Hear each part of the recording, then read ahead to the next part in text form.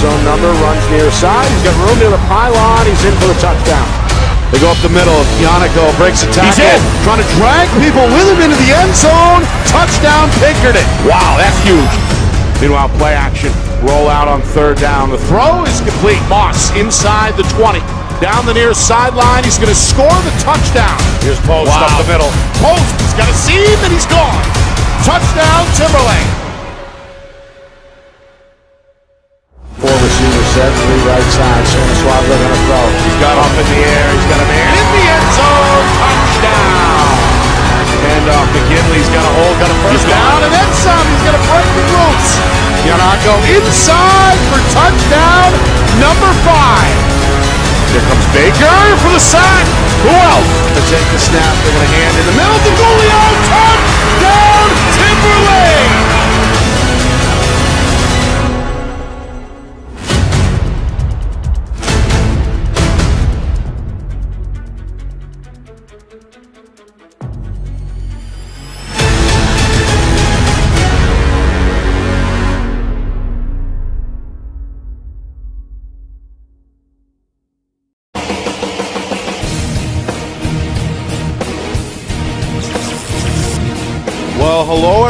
everyone, and welcome here to Exeter. Nick and Estes, Steve Beals with you. It's our Friday Night Lights New Hampshire game of the week between the Timberlane Owls and the Exeter Bluehawks. The quarterfinals of the 2022 NHIAA Football Division One tournament. A ticket to the semifinal on the line. The Bedford Bulldogs await the winner in next weekend's semifinal. This is a rematch from earlier this season. A game between these two teams that was played in Plaistow was won by Timberlane. Came down to the last second. 27-23 ended up being the final. Both of these teams went on to finish up at 7 and 2 in Division 1 East and despite the fact that Exeter lost the head-to-head matchup, they did win the tiebreaker due to the stronger rating in the NHIAA schedule. So that is why they are the host. They are the three seed. And they look for a little bit of revenge, the Blue Hawks do, on their home field this afternoon. Of course, Timberlane, their task, Steve, is to have to beat a good team twice. With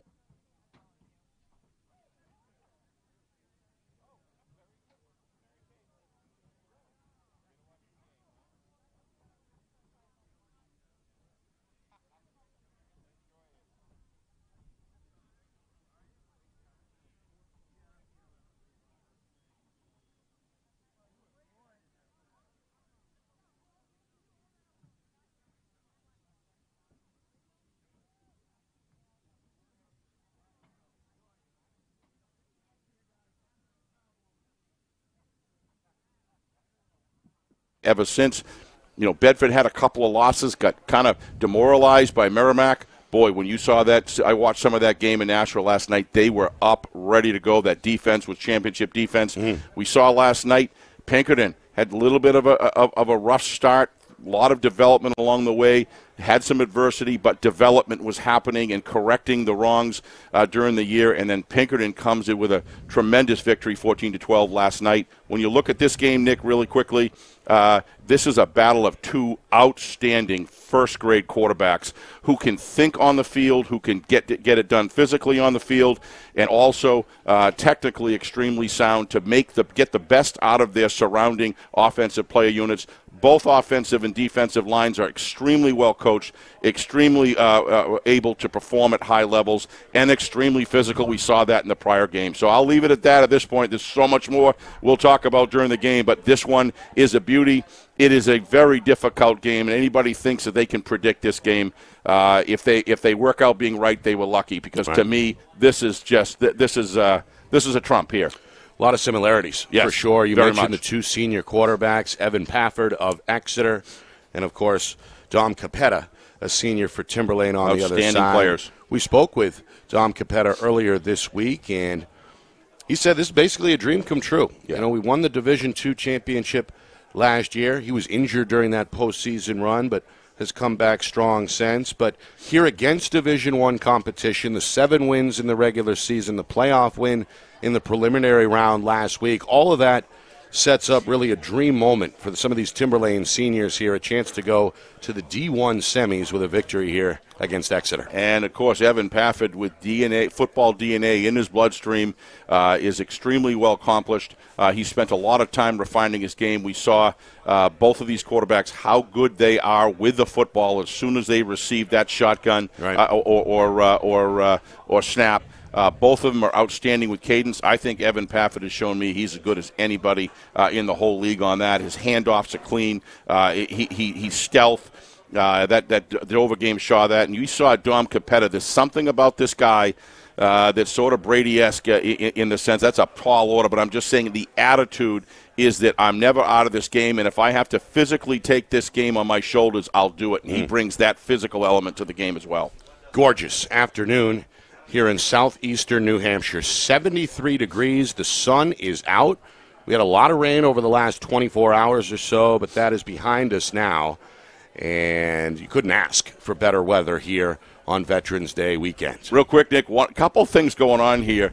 It's just so incredible. I mean, you got BG coming out of the old Division Two, you got Timberlane coming out of the old Division Two, and you got Exeter coming out of the old Division Two. Right. And uh, you know, of course, Bedford's a new program, but those are the four teams remaining. Uh, well, not BG, but when you look at uh, that, three out of the four teams, other than uh, than Londonderry and Merrimack, who are always Division One, to my knowledge, those three teams have done significantly well here in the new Division One that's yeah. developed. You got to give them a lot of credit, and it's a lot about the coaches and yeah. the culture. And speaking of the old Division Two, we are now on the 25th anniversary of Bill Ball's first championship team here at Exeter. That was back in the fall of 1997 in the old Division Two against Bishop Guertin. Exactly. That team is, I guess, going to get together in the upcoming weeks for a 25th anniversary celebration. Of course, it's Veterans Day weekend as well. We want to tip our hat to all those Amen. who have served. We appreciate it. And there'll be a special moment of silence coming up here at Exeter in honor of all the veterans nationwide. No, not everybody in this world loves freedom.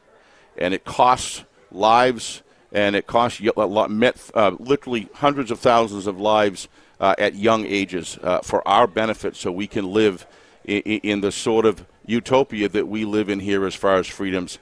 Let's all hope that we can continue that on. All right.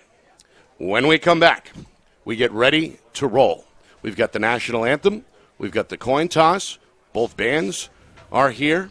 And again, a Veterans Day moment of silence as well. It all builds up to the kick coming your way at the top of the hour here 1 o'clock Eastern. Quarterfinal matchup between Exeter and Timberlane. Next, you are watching Friday Night Lights New Hampshire. It's presented by Beals Insurance. Our broadcast today, as it always is, is brought to you by Beals Insurance Agency, with locations now in both Bedford and Londonderry. Whether you need home, auto, or business insurance, Beals Insurance will get you both the price and quality coverage that's right for you. Just call 603 471 9999 or visit BealsInsurance.com to request a free quote and start saving money today. Again, that's BealsInsurance.com. Hey, I'm Chad, the owner of New Hampshire iPhone Repair. We're New Hampshire's most trusted and affordable repair shop for your iPhone, iPad, iPod, and even Android needs. Don't worry, we're affordable, reliable, and we back our parts with a lifetime warranty. And you know what the best part is? No, what? We can repair your phone while you wait. I know, that's why I'm here.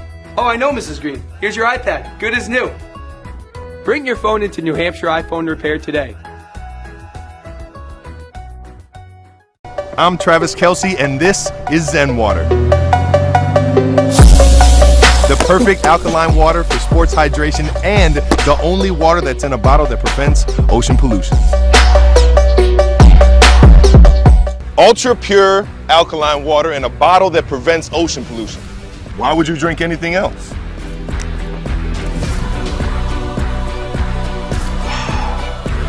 Seriously, why would you drink anything else?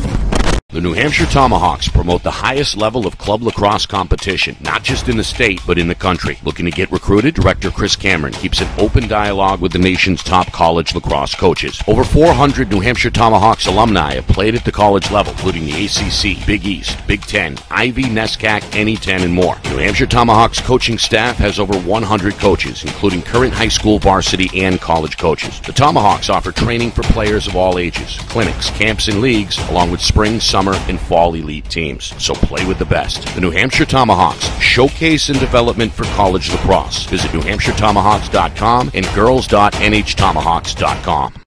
How can you reach your team's fundraising goals at no risk and no cost? MG Sports offers a variety of products to make your team's fundraiser a success. Their products include tickets and discount cards to hundreds of local businesses. MG Sports now has a digital platform where athletes can raise funds in the comfort and safety of their own home. Don't waste another season. Raise more funds than ever before and become another football program in New Hampshire that sets fundraising records every season. MG Sports, fundraising made easy. Visit mgsportsfundraising.com to start raising money for your team today.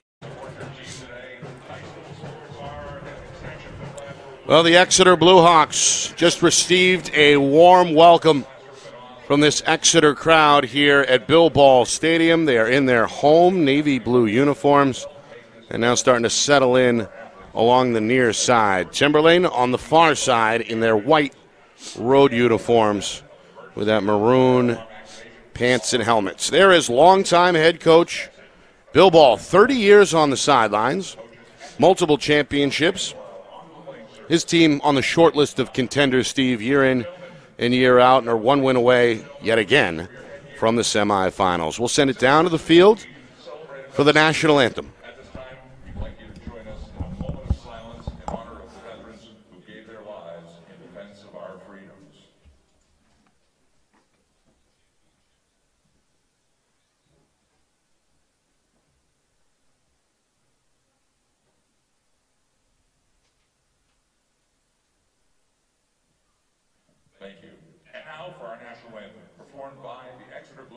Well,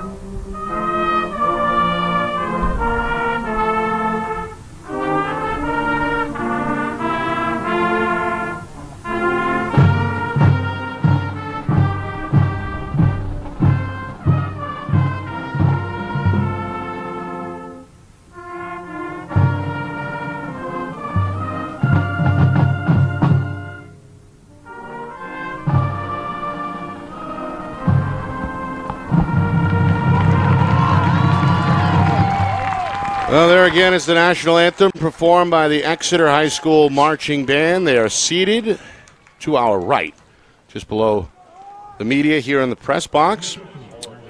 The Owls, they have brought their crowd with them as well, taking up most of that far side bleacher, a short ride up Route 111 from Plaistow. Again, a rematch from week number five. That was a game that really came down to the last snap. Exeter was stopped just shy, and Timberlane was able to able to hold on to a 27 to 23 victory. Again, Exeter wrestled away the division, or I'm sorry, the conference championship, the regular season crown on the final week when Portsmouth, quote unquote, upset Timberlane to hand the Owls their second loss. That put the the two teams at a tie, seven and two. And again, the the top the top tiebreaker is not head to head, it is based upon rating, which comes, of course, mathematically based on strength of schedule, essentially. But all that is out the window here as these two teams are ready for four grueling quarters in what's expected to be a physical football game here this afternoon. Yeah, it's a hard one for me to handle, uh, Nick. You have no control over what your schedule is, so it's out of your control, but you do have control over the head to head matchup. So for me, that's a hard one. But you know what? When your rules are set, Yep. uh, they're set at the beginning of the year, and everybody understands that. And at the end of the day, uh, if you lose the Portsmouth at the end of the year, that's you know that's was in your control as well. So at the end of the day, it probably, like you said, it really doesn't matter. Right. Uh, and I think both of these teams are going to enjoy another head-to-head matchup, uh, just for the game itself. But when you elevate what this game means, and we could see last night what that game meant uh, to to both teams, win or lose. Uh, this one's a big one, and I could I couldn't choose who's going to win this game, publicly, privately, uh, because they're just so well, so what, such a great matchup. Yeah. Well, you see there, both teams ready to go. Coin toss in the books. Coach Ball on one sideline. Of course, Kevin Fitzgerald, longtime head coach at this point, 15 years on the job. Fresh off a Division II title. They were able to hold off Milford in the final last year. And a lot of that team, of course, came back, but still, I think a 7 and 2 regular season uh, surprised at least Yeah. some people based on how well they played throughout the nine week campaign. Yeah, when you look at Coach Fitzgerald, one of the things I like is the relationship that he has with players, number one. And then all of a sudden, when his team runs through a period during a game uh, and they're running through some rough spots, how he manages to get the get the adjustments needed to turn it around. He's a he's a veteran, even though he's a relatively young guy. Here we go, Nick. All right, Timberlane will receive the dangerous sophomore Matt Williams, one of the two return men back deep. And this one headed to the near side. It'll be handled by Jaden Mwangi. Mwangi going to tiptoe up to the 30 along the near sideline and lean forward up to about the 33.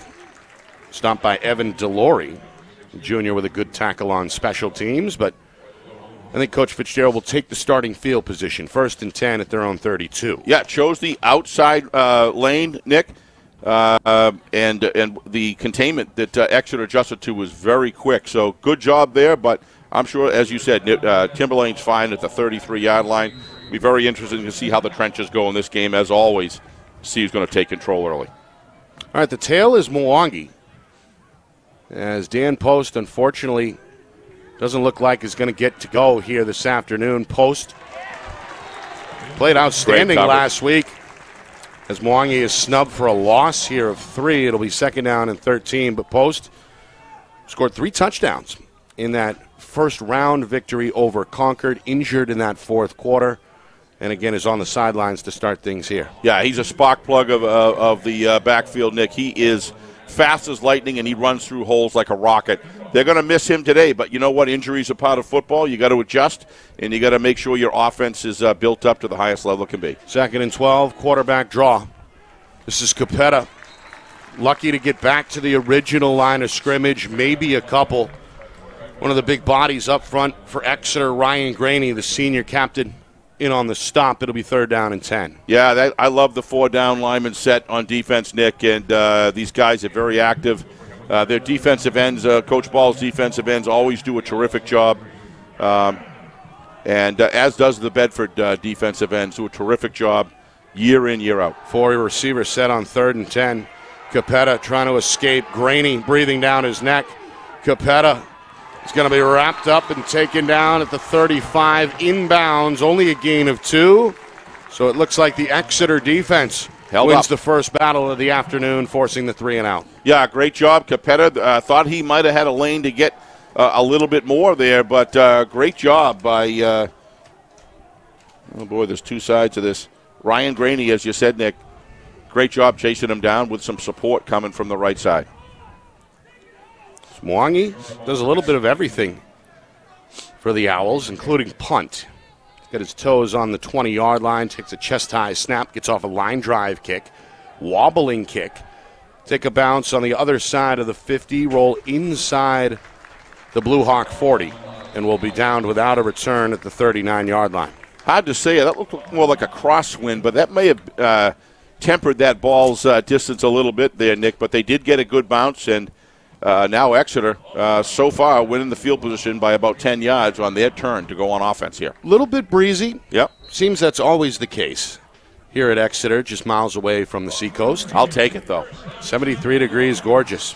All right, first series for Evan Pafford and this Blue Hawk offense. The senior running the T under center.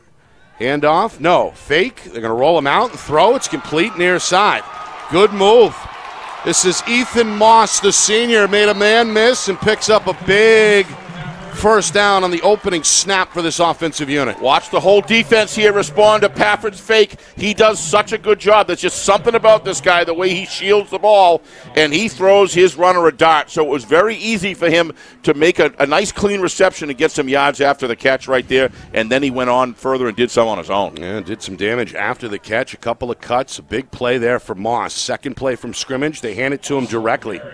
Left side give, not going to get much. Stood up in the hole. Yep. Does cross Still the battling. 35 down to about the 33 when they whistle him down. Going to get five. Pick up second down. On the other side there for Timberlane, Langlois on the stop. That's Nick Langlois, the big senior defensive tackle. So very early, Co- uh, Evan Pafford, Coach uh, Ball, uh, as a unit are going to be attacking out beyond the out by the numbers there, Nick. Uh, I don't know if they see something or saw something on film, but we'll see if that's a pattern as we go forward. Just over three minutes gone by, first quarter. Pafford, a long count, play fake. Another rollout. Eyes downfield, going to tuck and run. He's got a lead block. He's at the 25, and he brings two men with him down about the 22. Another first down for Exeter. I'll tell you. It's Braden Paris eventually on the stop, but Pafford Watch off to a great start Watch mechanically this. here. Watch this rollout. Just uh, balls back where it belongs, looking downfield first, which you like. That affects the. He, he may have no intention of passing, but he has the ball back to make the cornerbacks and defensive backs have to stay with their receivers, which is what opened him that running lane. What a terrific job this young man has done. He is developing. He's going to be a college player. Exeter on the march here, first and 10. Aiden McGinley's first carry. The big back is inside the 20. Bulls his way down Whoa. about the 16 yard line. McGinley, one of these veteran seniors. Meanwhile, the game's first penalty Personal foul. appears to be on the way. A late hit against Timberlane. Yeah, actually, it was unnecessary roughness, I think, Nick. Uh, if you watch on replays here, you'll see him after the play uh, is well over and the whistle's blown. There's a pull down here. You've got to keep your composure in these games. The emotion's high. Now, watch this. I think on the yeah, left side. pulls him there, down yeah. the left side there. Yeah. Yeah, you got to no- keep your composure. Nolan Bleakley went flying. Not Yep. sure which Timberlane player it was who gave him a shove, but it's a costly penalty. As we hear for the first time from our referee, James Pressure. Yeah, he was right there. I mean, if you're going to do it, do it in the far distance of the field. Um, but Yeah, uh, he was the distance, so they'll spot it just Yeah. outside the eight yard line. And now a first and goal on the way as the Blue Hawks look to strike first. Four minutes in. Again, the T formation facing what looks like a four man front. It's a pitch near side. Trying to cut it up inside is Michael defense. DeTore. Nice defense right there.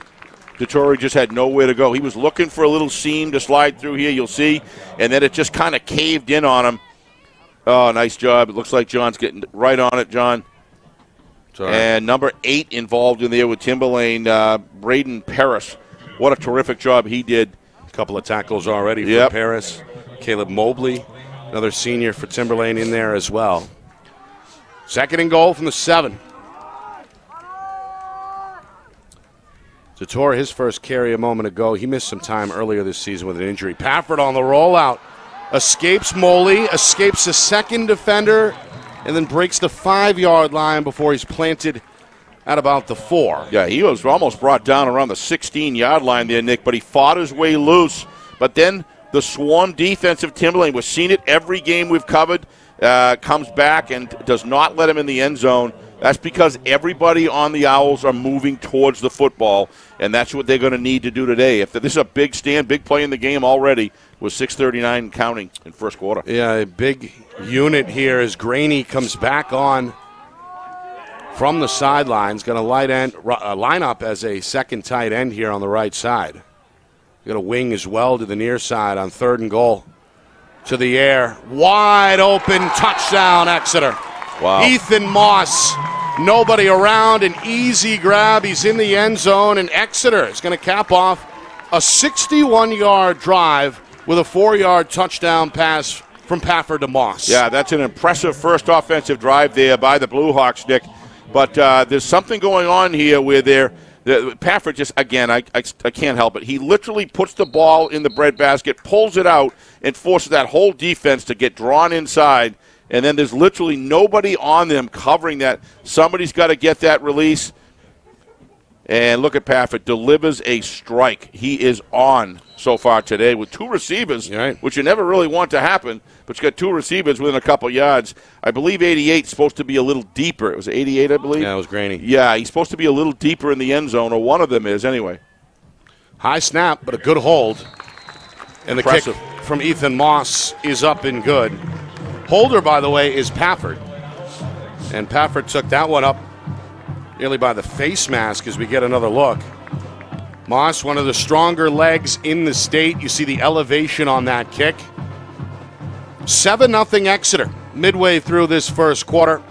Home fans who are still filing in, by the way, smiling early on here this afternoon. Yeah, I think Coach Ball is uh, smiling uh, underneath there. He's not going to show that.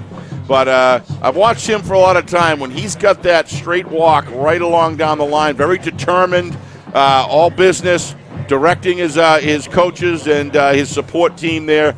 Uh, he's got to be pleased what he's seen so far for, from his offense and defense this year, so far in the game. 30 years as head coach. He's also been Been the there, done athletic- that. Yep. Been, been the athletic director. Served for a moment as the boys lacrosse head coach, and of course he's the director of officiating for the state as well. So a man of many hats, but I think this this spot he's in is his favorite. The head coach, the Yep. head football coach of the Exeter Blue Hawks. Meanwhile, this one up in the air. It's a short kick from Moss. Going to take a bounce before Mwangi handles at the 20, across the 25, spun around at the 30, Almost ends up around the 33 yard line. Same starting field position on drive number two as drive number one. Timberlane went three and out after receiving the game's opening kickoff.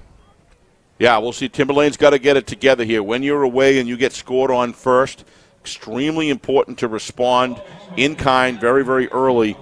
Uh, we saw that in the game last night. There was uh, that uh, that the uh, Cardinals were not able to, you know, close it on the first run there. We'll see what Timberlane and the Owls can do here. I'm going to spread it here. Two receivers each side. Capetta out of the gun on first and 10. The throw is low but caught. On the far side, that's Trey Baker, the short-handed senior. Nice job. Been really their Capetta's top target most of the season. Baker able to pull it in for a six-yard gain to set up second and four at their own 40-yard line. If you had ever told me I'd be up in the press box here on November 12th, right, uh, feeling warm, I, I, I, I would never have believed it. No, But, uh, 73 at game time. Again, the sun is out, gorgeous here. Yeah. I know one of our camera people up top is pretty happy. Mm. That's Kristen Beals, of course. Meanwhile, DeJulian. nowhere to go. DeJulian on his first carry. Ed DeJulian trying to find some room on that far edge. Did not. And now a third down coming up. Yeah, it looks to me the defensive line is matching up very well against this outstanding offensive line of Timberlane. They're doing a good job getting separation, but also controlling the line of scrimmage, getting across the line of scrimmage, and flowing to the ball uh, with a great deal of uh, symmetry. And it's uh, it's having an effect. There's just never able. There hasn't been an ability yet this early on for Timberlane to get anything rolling. Tackle by Owen Simon. Meanwhile, a couple of Blue Hawks may have jumped. They, They do back. get back on. And now the snap and the give to Julio. Not going to get there. There's nothing there. Again, Simon and company close down the hole. No gain on that third down carry. And now a fourth down and looks like four Yeah. on the way. Coach Fitzgerald going to punt the football here for the second I'm time. going to punt it, Nick, but that's awful fast. Uh, uh, you know that, that's a that's a quick punt after receiving the ball initially, and that puts a lot of stress on your defense. They barely got off and be able to get a, a splash of water, and they got to get back out in the field again. And it's 70, it's not 40. Two consecutive three and outs. Yes, Not the ideal start. Meanwhile, Mwangi, a couple of steps to his right, gets off a high arcing punt down that far sideline. Going to land out of bounds Boy, they're going to give them. Going to give the 20. That's a Timberlane good, punt. spot. That's a good punt. Good punt and a good spot as well for Timberlane. Yeah. Thought it may have gone out of bounds around the the uh, you know the uh, 26, 27 yard line, but the official was right there, Right in front of him. It right landed in front of it. Yep. So seemingly right there. I hard think, to tell from here. I think it's within a yard or so either way. But Yep. Exeter started drive number one at their own 39 yard line. Going to start things here at their own 20. With just outside of four minutes to go in this first This quarter. officiating crew's very active here. Everybody, you can tell, knows their assignments, communicating back and forth with each other. A lot of veterans. Yes. amongst this five man crew led by referee James Pressure. Pitch. Dettori may have stumbled a bit upon receiving the toss. Going to end up losing maybe a couple here. Cam Zimbrowitz, one of these seniors, many seniors, veteran seniors on the Owls, sneaks into the backfield. It's a one yard loss. Second down, 11. Yeah, the Owls' defense here has got to come up big to give uh, Capetta and his uh, offensive unit uh, an opportunity to get out there again. And if you're going to do it, that's how to do it with the first down. On second and 11, Timberlane showing extra pressure. Going to get after Pafford, going to roll, going to throw. Wow. Caught by Graney. And the big tight end able to hang on for about a 10 yard gain, very close to the marker. They're going to give it to him. It is. It's a first down, Exeter. Yeah, he looks like a tight end. He is a tight end. Pafford, great job stretching it out, which gives him what a terrific job. Off, you know, great job by Trey Baker to try to bring it down, but that pass was just On the money. on the money. Yep. Pafford off to a good start. Touchdown pass already to the senior's credit. He's got another first and 10 here from his own 30 yard line. It's like a five man front here for the Timberlane defense. Up the middle and a first down. Baker, Another 11 yard carry. First carry for Desmond Rugg is Coach Ball continuing to cycle through these running backs. look, they get that fullback through the hole so quickly. And then you've also got uh, Evan Pafford, who does such a great job pretending he's still got the ball. And he slices through that uh, interior part of the line, and he's well into the secondary. And I'll tell you, Trey Baker's getting a lot of tackles, but they're not the tackles he's looking for. They're not by line of scrimmage. They're uh, deep into their own territory. Baker, one of the two safeties, standing near the first down marker. On first and 10 to Tor, not much. Wrapped up almost immediately by Caleb Mobley. Yeah, nice job. Was off to a good start himself here for Timberlane as we move inside of three minutes first quarter. 7 0 Exeter out in front. really important for Timberlane to be able to get a stop, not deep in their own territory. Uh, so uh, it puts it in. Once it gets into four down territory, you know Coach Ball is going to use it. Uh, it's not four down territory yet, so it's a little bit of sense of urgency if they can to maintain it in the three down territory uh, while Exeter has the ball. Try to force a kick. They're going to stack this box. Yep. Pitch, Rugg, showing the speed to the outside, knocked out of bounds, shoved into the home bench, very close to the marker. It's another 11 yard pickup and a first down for the Blue Hawks. Yeah. Um, Starting to get some chunk runs here. Three straight. Well, three straight 11 yard gains. One of those was through the air, but Rugg, after successfully picking up the first down, going to grab a Yeah. quick drink of water here. Is again, Coach Ball, that's one of the strengths of Exeter. They love using multiple ball carriers. Ian O'Kane, 57 of uh, Exeter, and uh, obviously uh, Ray, Ryan Graney. They got way out ahead on the block there. Terrific job. It's that right side of the line. Inside give. Rugg shows you what he can do on the inside. Follows left guard, and again, the magic number seems to be 11. Is that a first down? No. They're going to spot him just shy, it looks like. Just Second and a little short. Well, the gashing continues here on this drive for Exeter as we move inside of two minutes first quarter, but Clock killing. Yeah. With 152 left in the first quarter. All you really remember in this quarter is Exeter's offense on the field.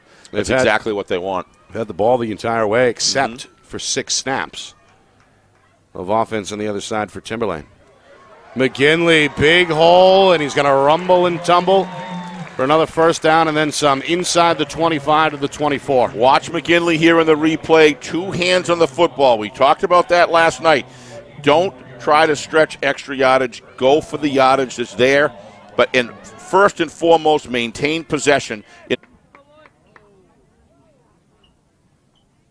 Of, of managing the possession of the football first and then taking the yardage that's given to you. Gary Shivel giving credit on the tackle.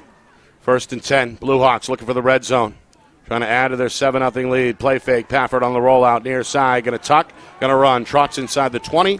Skips his way down to the 16 before he's knocked out of bounds inside the 15 at the 14 yard line. Watching uh, a quarterback right now that's developed throughout the year.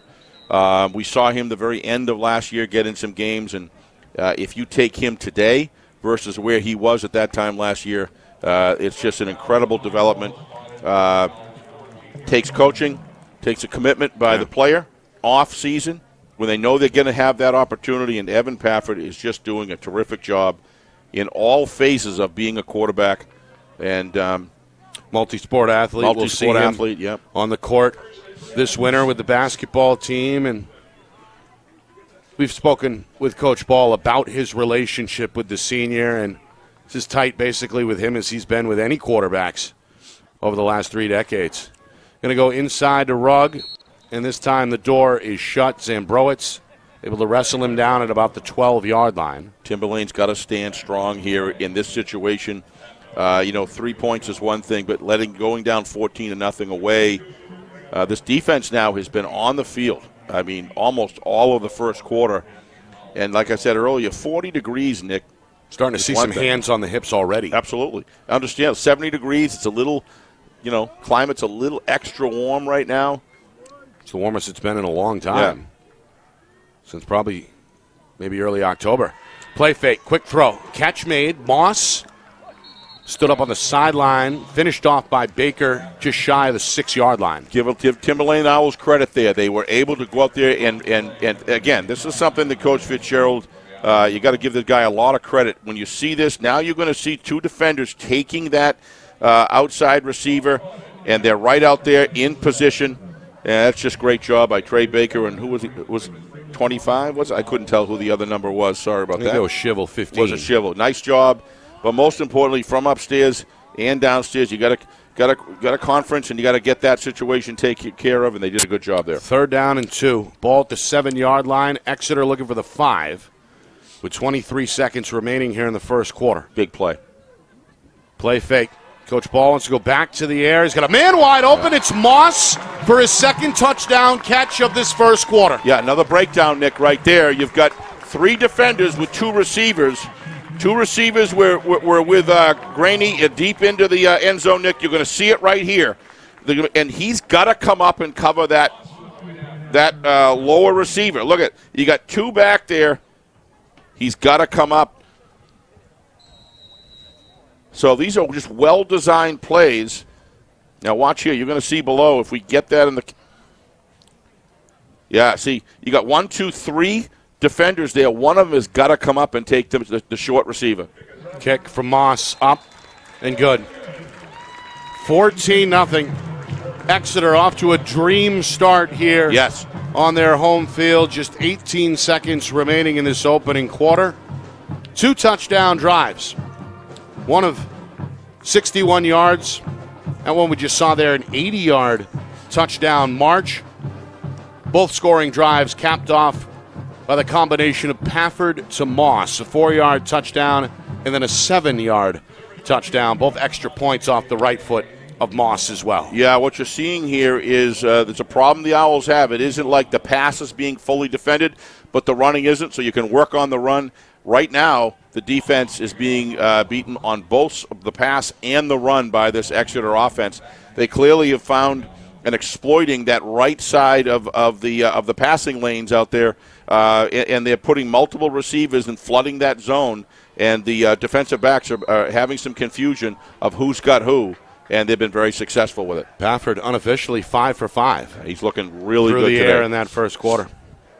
Moss's kick angles towards the near sideline, fielded on the run by Mwangi, up across the 30, skips to the 35, and is wrapped up at about the 38, maybe the 39 yard line. A good return by the senior. So Matt Williams, I believe 20 is the other They're kick, kicking away from him. kicking away from him Yeah. big time, and uh, so it, it, it appears there's a there's a very definitive and constructive game plan that Coach Ball has put together that he's sticking to, and uh, I would imagine he's not going to leave it because it's working for him just wonderfully right now uh, with a 14 nothing lead, um, even just in the first quarter. So Timberlane, meanwhile, seeking their first first down after two consecutive three and outs. They'll begin drive number three with 12 seconds remaining in the opening quarter. Capetta near side, yanked down by O'Kane. had an open hole, but it, it just closed up very, very quickly. The defense is just swarming to the football. Three-yard gain, quickly. second and seven. When we come back, standing ovation for an outstanding first quarter. Exeter 14, Timberlane nothing after one. Owls look to respond when we come back. You are watching coverage of the 2022 NHIAA Division One football quarterfinals right here on Friday Night Lights, New Hampshire. It's presented by Beals Insurance.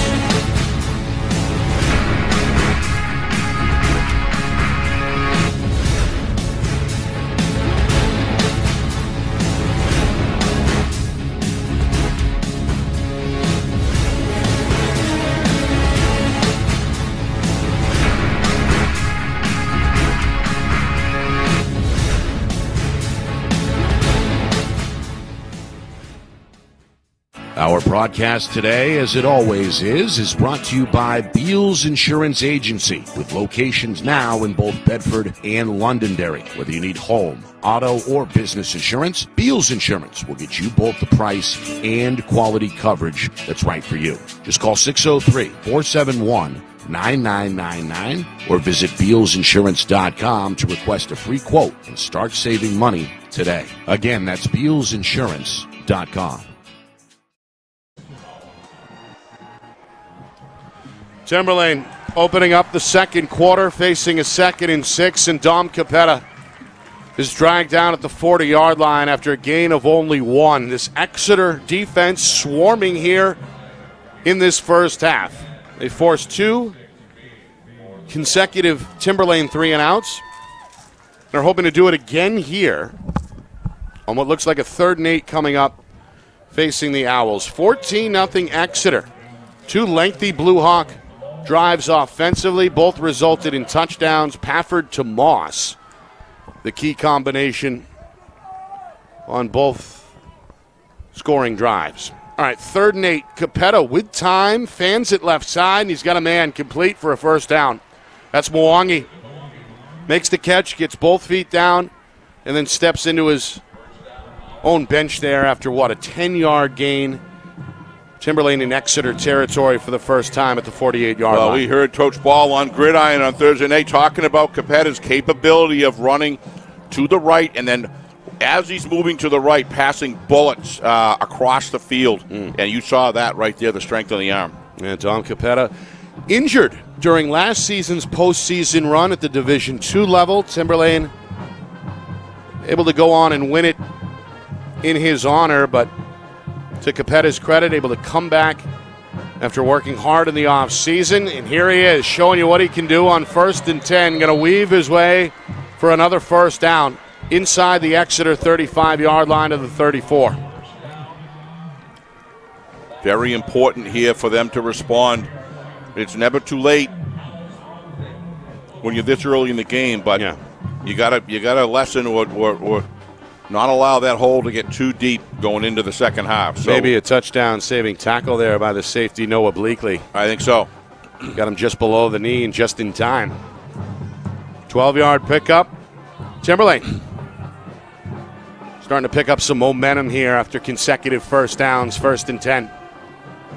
Out of the gun, the give is to Liam Corman, the Wow. freshman. He's swallowed up in the backfield. What a close down by he and I believe number seven, Aiden McGinley. What a terrific job those two did closing it down. And then it's Drew Hanna who finishes him off, the senior. Fired up after, after the tackle. When you see a play get foiled this quickly in this dominant fashion, it usually means they've rehearsed it, which means they probably saw it on film They read a key properly, and that's what all preparation for a game and knowing your assignments in every play, reading and reacting according to your keys. That's probably what happened right there because that was just a terrific job. Two yard loss. Yeah. Sets up second and 12. Two minutes in, second quarter. Exeter looking to protect a 14 0 lead here. Timberlane trying to get on the board. On second and 12 from the Blue Hawk 36. Capetta looks left, going to throw. He's got, Deep he's down got the far space. sideline. Wow. Touchdown! It's Mwangi on the other end. A perfect strike from Capetta. 36 yard hookup. And the Owls get themselves in the end zone and on the board. and the extremely large uh, visiting crowd from the Owls is going wild over there right now. They know how important that is. But you got to stay composed here. It's very important. We saw what extra points mean last night, Nick. In a playoff game, they got to stay calm and they've got to get this through the uprights because they are. It's not a touchdown six, but you got to get to seven to keep up with the Hawks with two sets of seven here already on the board. Timberlane trying to make it a seven point difference. High snap, good hold by Baker. And they the did it. kick is up and perfect off the right foot of Harrison Bloom, the senior. A pretty good response there by Timberlane is the 36 yard pass, gorgeous to watch. but, but gorgeous because of who threw it. Look at the situation right there. The power in that arm and the separation. Uh, Mwangi got him by that a long couple he of got steps. there by a couple of steps, and and you know what a quarterback has to do is lead the ball against good defensive backfield, and Exeter always has a great defensive backfield. Now you're going to get a great view. Look at the separation he had, and, and literally didn't even had to break a stride. It was right there. Got what the a terrific throw! got the step on Sean DeLello, the Yep. junior cornerback. so hard to stay with that when you see a quarterback break to one side. You're kind of looking, well, do I got to get coverage, backside coverage across the field? And uh, then Capetta just throws a, a, a monster pass. And Mwangi's got some sneaky speed. Yes, he does. As we've seen, he's been part of the kick return game all season for Coach Fitzgerald. One of their better tacklers defensively in that secondary. And, oh, yeah, he's going to have to fill in a tailback today on, on occasion as well for the Busy injured, young man. injured Dan Post. So, yeah, Mwangi doing a little bit of everything and doing it all well in this first half. Meanwhile, Dettori going to back pedal and watch this one end up in the end zone for a touchback. That's a good kick Whoa, what a- from Bloom. What a difference a quarter makes. Very similar to the game last night, Nick, uh, in the sense that the Cardinals just seemed like they just couldn't get things going, seemed to be playing at a different speed, and then the second quarter, uh, Yeah. coach pumped them up, and uh, they came out and they actually held. Uh, Same start, really. yeah, same type of a start. Pinkerton built up a 14 0 lead, two touchdown drives in that first quarter, two three and outs, I believe, for BG before their third touchdown, uh, excuse me, third offensive drive of the day resulted Mm-hmm. in their first touchdown, and then it was it was more even moving forward. Astros prevailed last night, 14 to 12. What a game! and will await the winner of this afternoon's contest between Londonderry and Merrimack. The winner here between Timberlane and Exeter will host Bedford next week. Here's a toss to Rugg on first down. Rugg able to find some separation. Shivel going to wrap him up around the shoulder blades. But long after the first down was surrendered, he's out to the 45 yard line. A big pickup of nearly 20. Watch the lead blocking up front here on the left hand side. You're going to see it. Look at the pull. Then seven does an, even though he gets knocked down, he does an incredible seal right there, and that's what gives him the acceleration that he needed to get through the line. And what a run! What a set of blocking, 25 yard gain. execution to high level here. Out to the 45, a first down. First and 10. Five man front. McGinley going to find a hole. Cross midfield. Dragged down by Paris, but not before picking up another eight yards. I have no doubt Coach Ball had some severe no lunch for a month or something going on here. Uh, if these guys didn't hold on to that football with two hands, because what I'm seeing, look at the graphs, ten fingers, two arms on the football through the whole process, all the way down. That is critical in big games because turnovers. When you start getting down to this wire, teams are too par- too much parity. You, you got to avoid turnovers, and that's part of the process. Pretty good inside seal by the guard there, too. Yes. The junior Arthur Como. Coach Ball continuing to cycle in offensive linemen. That's been kind of his MO for the last Yep. several seasons. Has the depth up front, keeps guys fresh.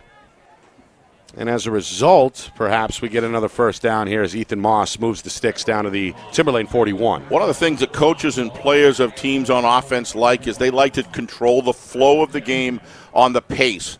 And if you notice, uh, Timberlane isn't doing anything defensively yet to take them out of that of the Exeter's pace. They've got to do that. Got to change some things up here. Force a timeout, something, slow the game down for them. Owls looking for their first stop of the afternoon. McGinley right side on first and 10, still fighting for that extra inch. Yep.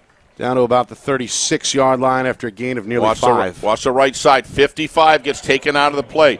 The, the, the guards are coming out and hitting the linebacker core square of the Owls. And, and a lot of that is because of the stealth stuff that's going on behind with, with the handoffs. It's so difficult to pick up. They're trying to read it, Nick, and they can't find the ball. And what that does is gives the guards a free shot to drive the uh, the uh, linebacker core back. It's that extra half second that yes, while that you're trying to difference. read. Yeah. Second and five. McGinley calls his own number, but he's going to get tripped up Nice along the tackle. line of scrimmage. That's Mwangi. Yep. Got him below the knee. Limits the damage to just a two yard pickup. Looks like third and three on the way. Get a look at the replay. Wong able to break down and hang on for dear life to that left leg. Big stop, and now Timberlane looking for their first third down stop of this first half with nearly five minutes gone by in the second quarter. Yeah, when you convert third down, especially over one or two yards, that's when you get into threes and four third down conversions. It's really tough on the defense. Third and three. Five man front for Timberlane. Long count here. Pafford going to give. Straight up the middle. That's Rugg. I think he's short.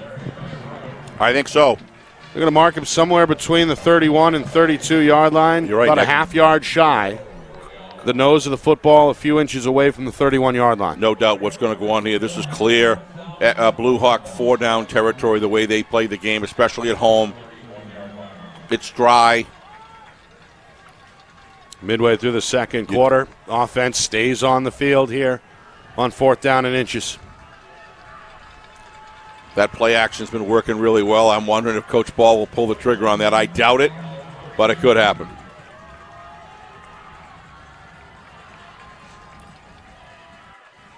Toss.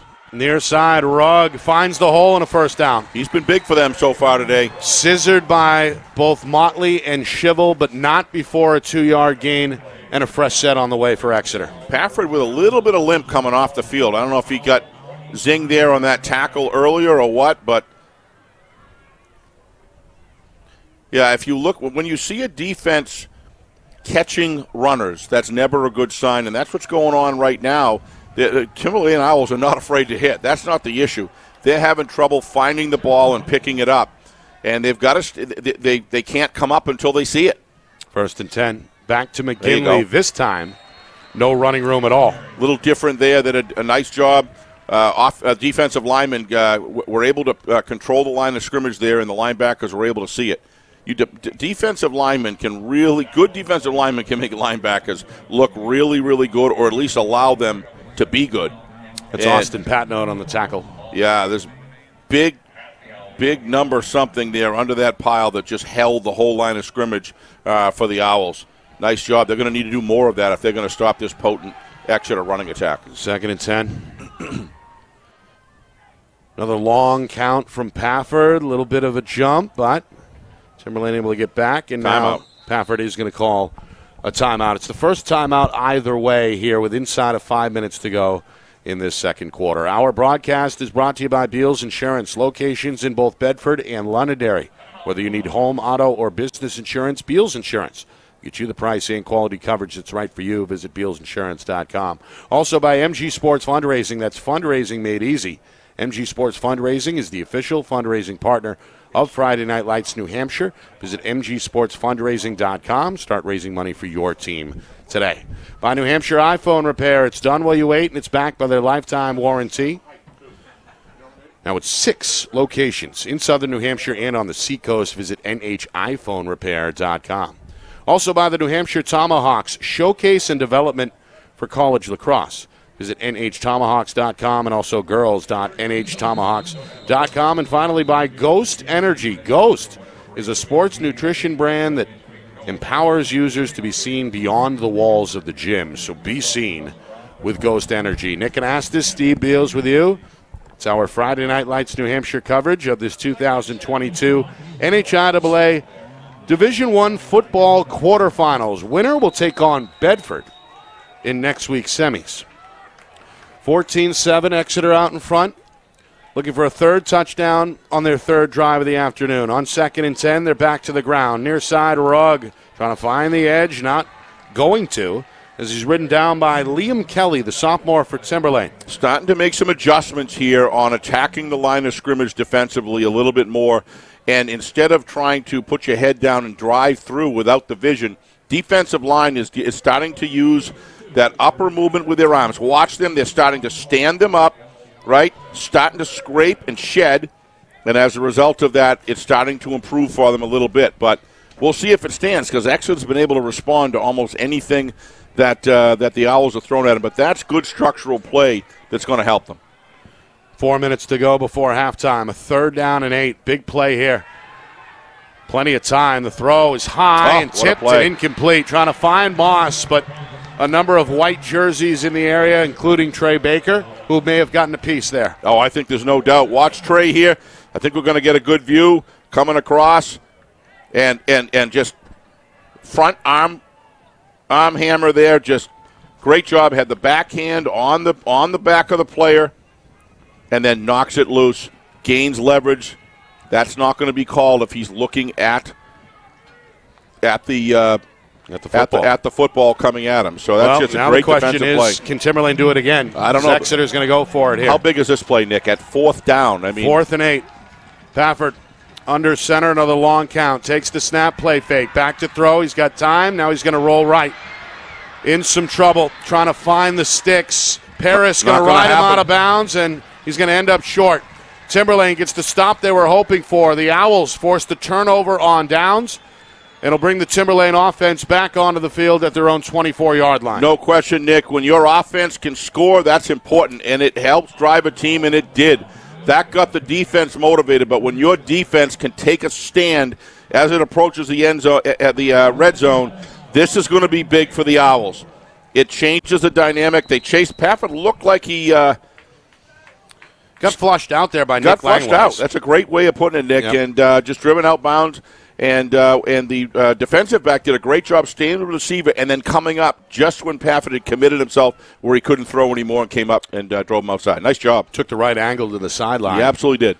Paris forcing the turnover. So here comes turnover on downs. Here comes Exeter.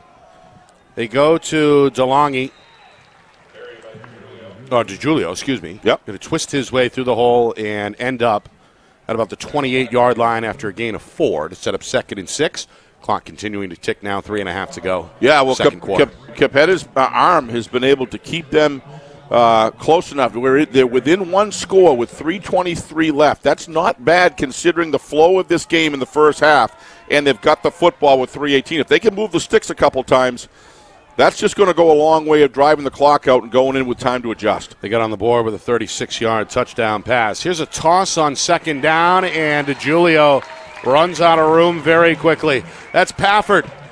Talk about all the things he does as the quarterback of this unit, but Coach Ball has told us Yeah. he's just as good defensively, and he shows it there. I think he is uh, just as good, but boy, a quarterback is a hard thing to find.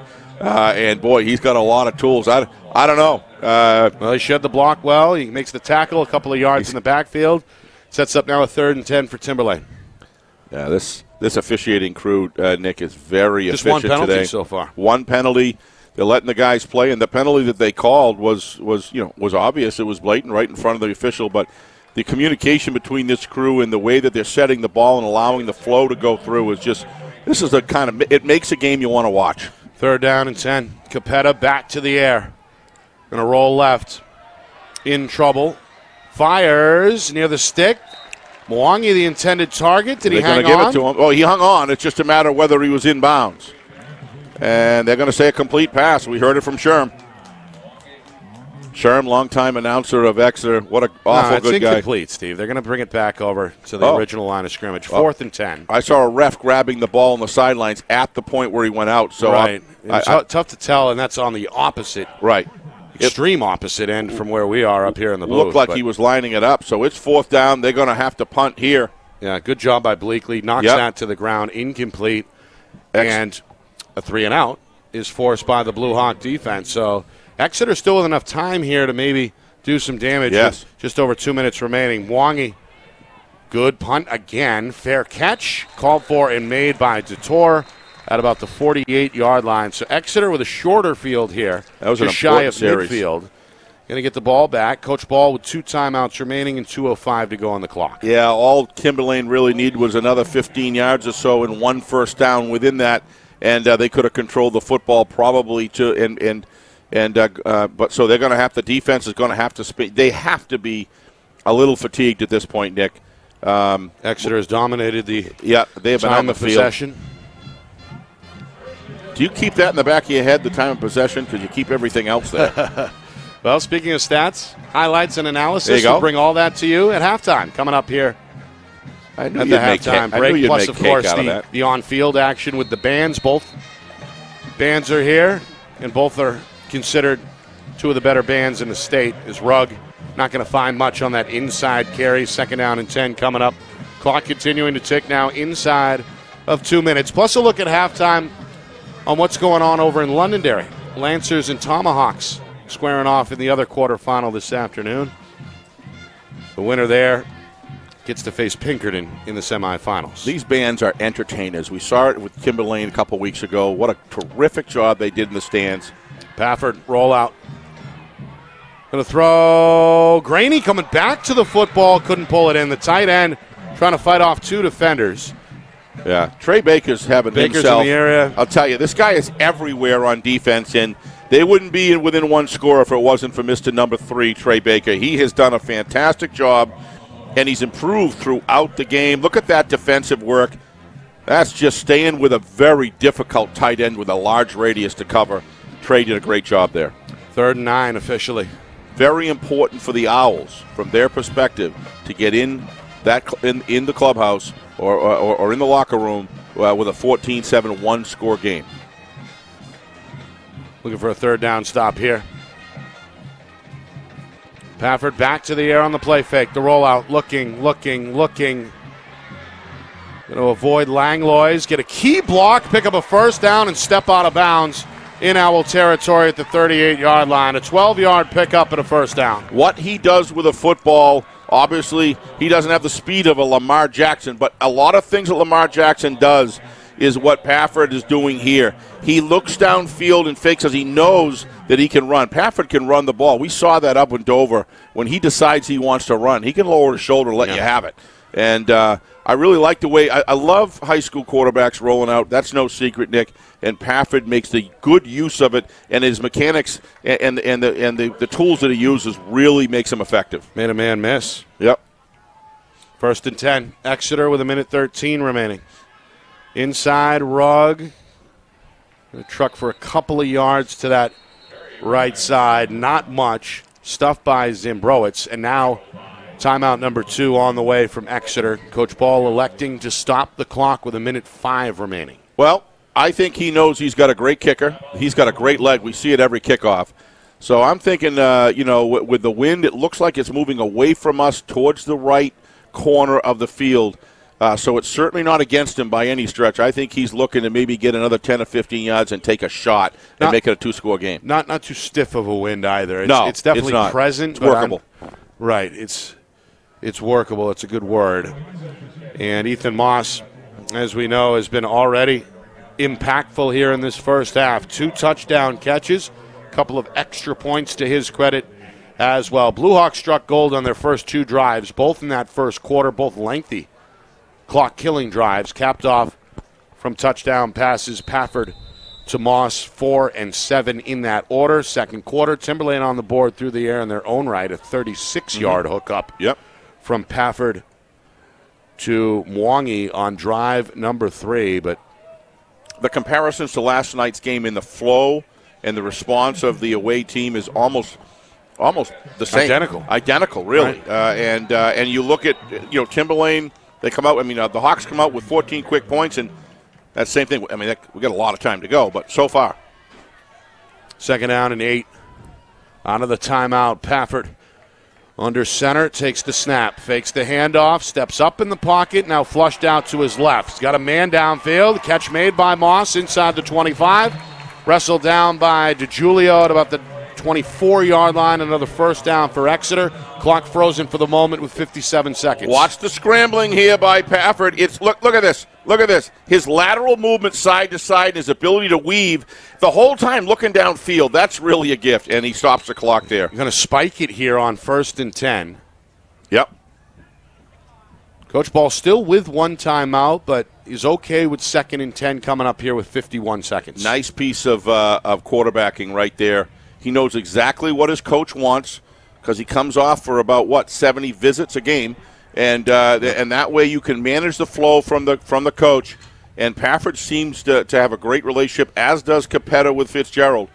But uh, this this duo tonight is uh, doing a great job of knowing exactly what they want to do. I would expect here a short a short pass or maybe a, maybe a run, but likely a short pass, six seven yards.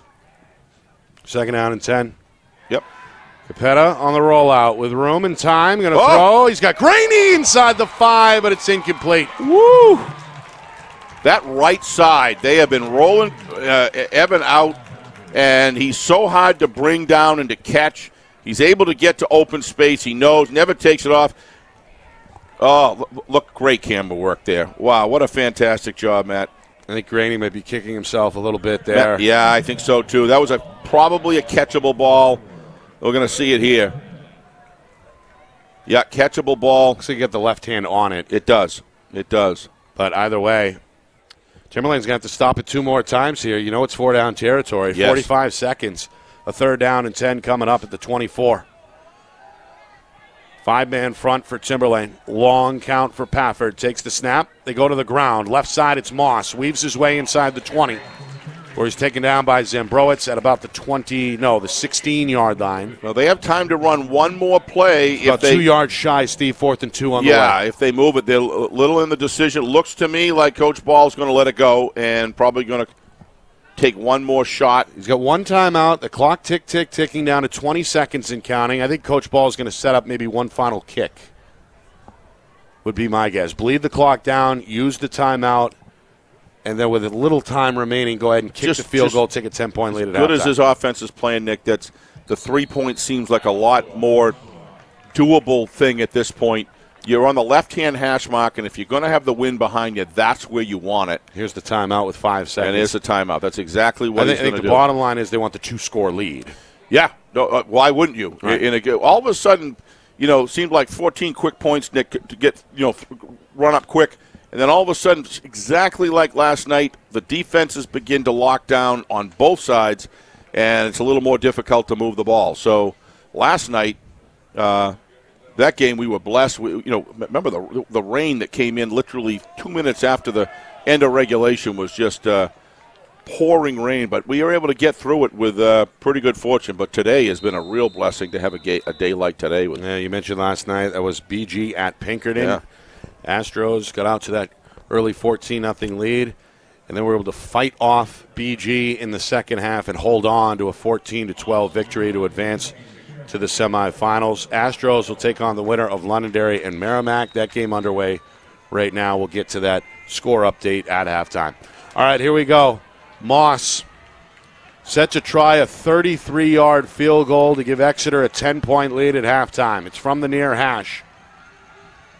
Snap is good. The hold is good. The kick is up and no good. It's going to fade to the right and end up wide and short. No good. Timberlane is left with half of a second to go here before halftime. if you're Timberlane, you've got to be really, really pleased, given the the way that this first half has gone with six point what, point six or six seconds, point six second, not even a second, Nick. They got to be very pleased going off this field, knowing that they've been getting stronger as the half goes on and been been a little more even. This defense is going to get an opportunity to rest, and most importantly, there's going to be some uh, receiver and passing defense adjustments on the field that are going to have an impact. Exeter is, half. Exeter is slated to receive the kick to begin the third quarter. See what Coach Fitzgerald wants to do here. Basically, the last play before halftime. Does he want to just take a knee, or is he going to try and take a gamble? Boy, I'd be I'd be in, going into going into the locker room thrill. That's a, oh, they're going to do it. Capetta, one more play. Clean pocket, going to show off the arm. It's deep downfield, and it's incomplete. The intended target was the sophomore Matt Williams. That'll do it for the first half. Exeter got off to that hot start, 14 0 after the first quarter. Timberlane gets half of that back in the second quarter to get on the board, and it's 14 7 at the break. Both excellent bands coming up at halftime, folks. Enjoy. Yeah, we're going to bring you that live down on the field in just a few moments, plus a full recap of the first half and a look at the Merrimack Londonderry quarterfinal, which is going on right now as well. Halftime, Exeter out in front of Timberlane 14 7. You are watching coverage of the 2022 NHIAA Division One football tournament right here on Friday Night Lights, New Hampshire. It's presented by Beals Insurance.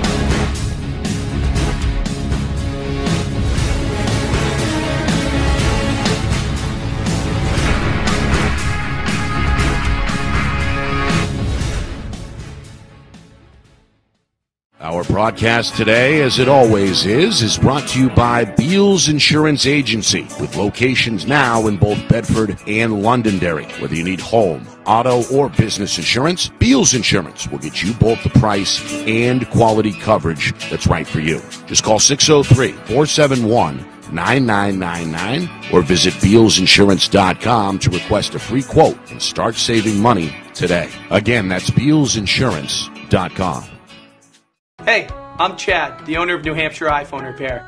We're New Hampshire's most trusted and affordable repair shop for your iPhone, iPad, iPod, and even Android needs. Don't worry, we're affordable, reliable, and we back our parts with a lifetime warranty. And you know what the best part is? No, what? We can repair your phone while you wait. I know, that's why I'm here. Oh, I know, Mrs. Green. Here's your iPad, good as new. Bring your phone into New Hampshire iPhone Repair today. I'm Travis Kelce, and this is Zen Water. The perfect alkaline water for sports hydration and the only water that's in a bottle that prevents ocean pollution. Ultra pure alkaline water in a bottle that prevents ocean pollution. Why would you drink anything else?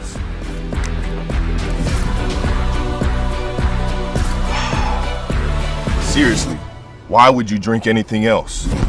The New Hampshire Tomahawks promote the highest level of club lacrosse competition, not just in the state, but in the country. Looking to get recruited, Director Chris Cameron keeps an open dialogue with the nation's top college lacrosse coaches. Over 400 New Hampshire Tomahawks alumni have played at the college level, including the ACC, Big East, Big Ten, Ivy, NESCAC, NE10, and more. New Hampshire Tomahawks coaching staff has over 100 coaches, including current high school varsity and college coaches. The Tomahawks offer training for players of all ages, clinics, camps, and leagues, along with spring, summer, and fall elite teams. So play with the best. The New Hampshire Tomahawks, showcase and development for college lacrosse. Visit NewHampshireTomahawks.com and girls.nhtomahawks.com. How can you reach your team's fundraising goals at no risk and no cost? MG Sports offers a variety of products to make your team's fundraiser a success. Their products include tickets and discount cards to hundreds of local businesses. MG Sports now has a digital platform where athletes can raise funds in the comfort and safety of their own home. Don't waste another season. Raise more funds than ever before and become another football program in New Hampshire that sets fundraising records every season. MG Sports, fundraising made easy. Visit mgsportsfundraising.com to start raising money for your team today.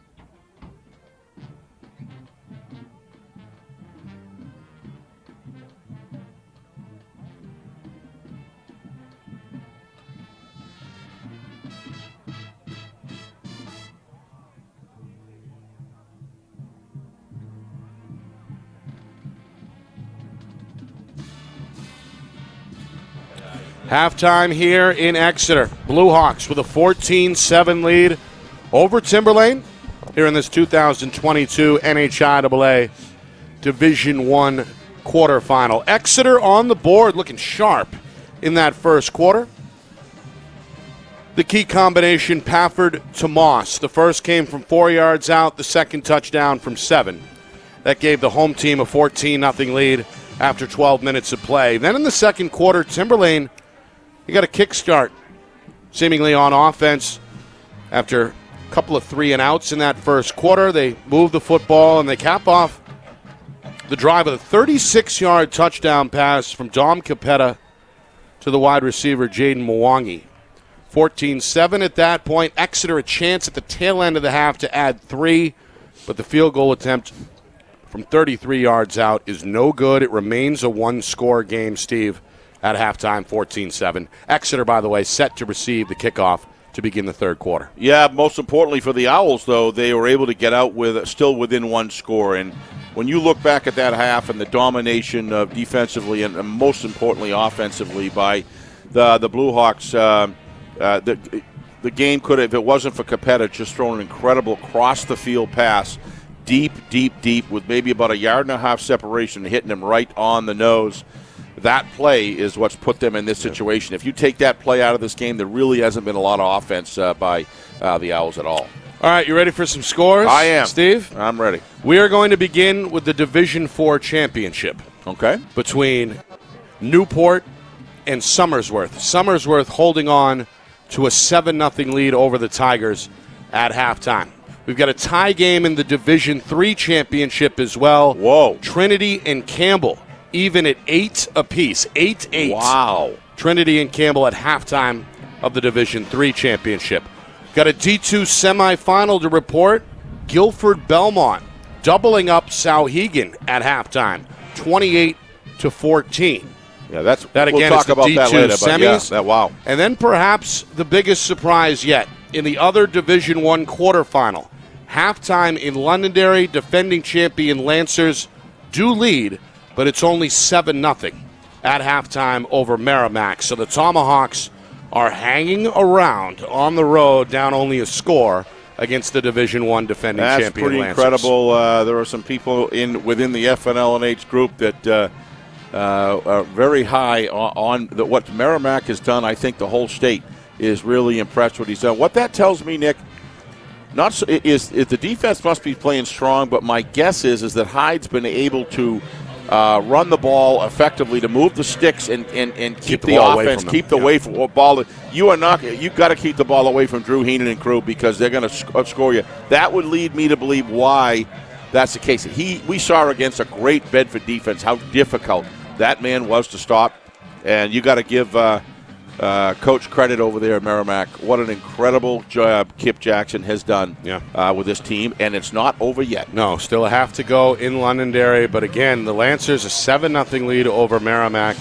The winner will face Pinkerton in the semis next week. And of course, still a half of football to go here at Bill Ball Stadium. Exeter, a 14 7 lead over Timberlane. The winner here will host Bedford next weekend in the semifinals. The Bulldogs got it done on the road against undefeated Nashua North, beating the Titans 7 0 yesterday afternoon. Well, we always talk about adjustments, Nick. In a game like this, uh, 14-7, uh, you've got a team who uh, from Exeter probably would like to have at least a two-score lead given the performance of, of their output. They've done nothing wrong. It's just the way the game has gone.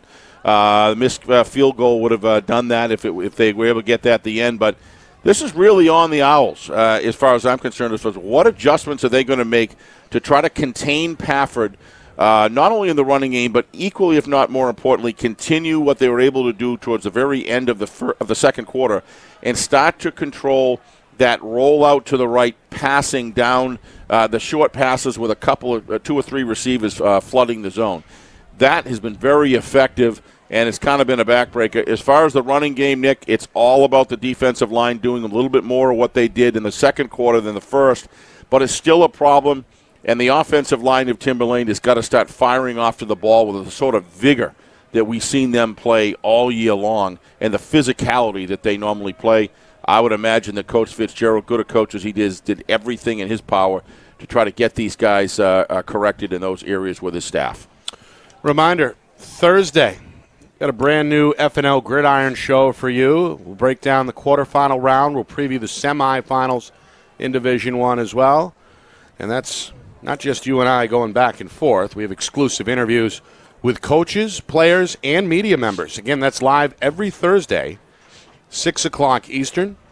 And anytime really after that, archived up on our YouTube channel, FNL NH Media on YouTube. Again, FNL NH Media on YouTube. And while you're there, if you have not already, hit the subscribe button. Free to do so. You're in the know the rest of the way. And of course, we got basketball season on the horizon this winter as well. So don't forget to subscribe. Hit that bell icon. You'll be notified in real time moving forward. Again, Friday Night Lights New Hampshire on YouTube at FNL NH Media.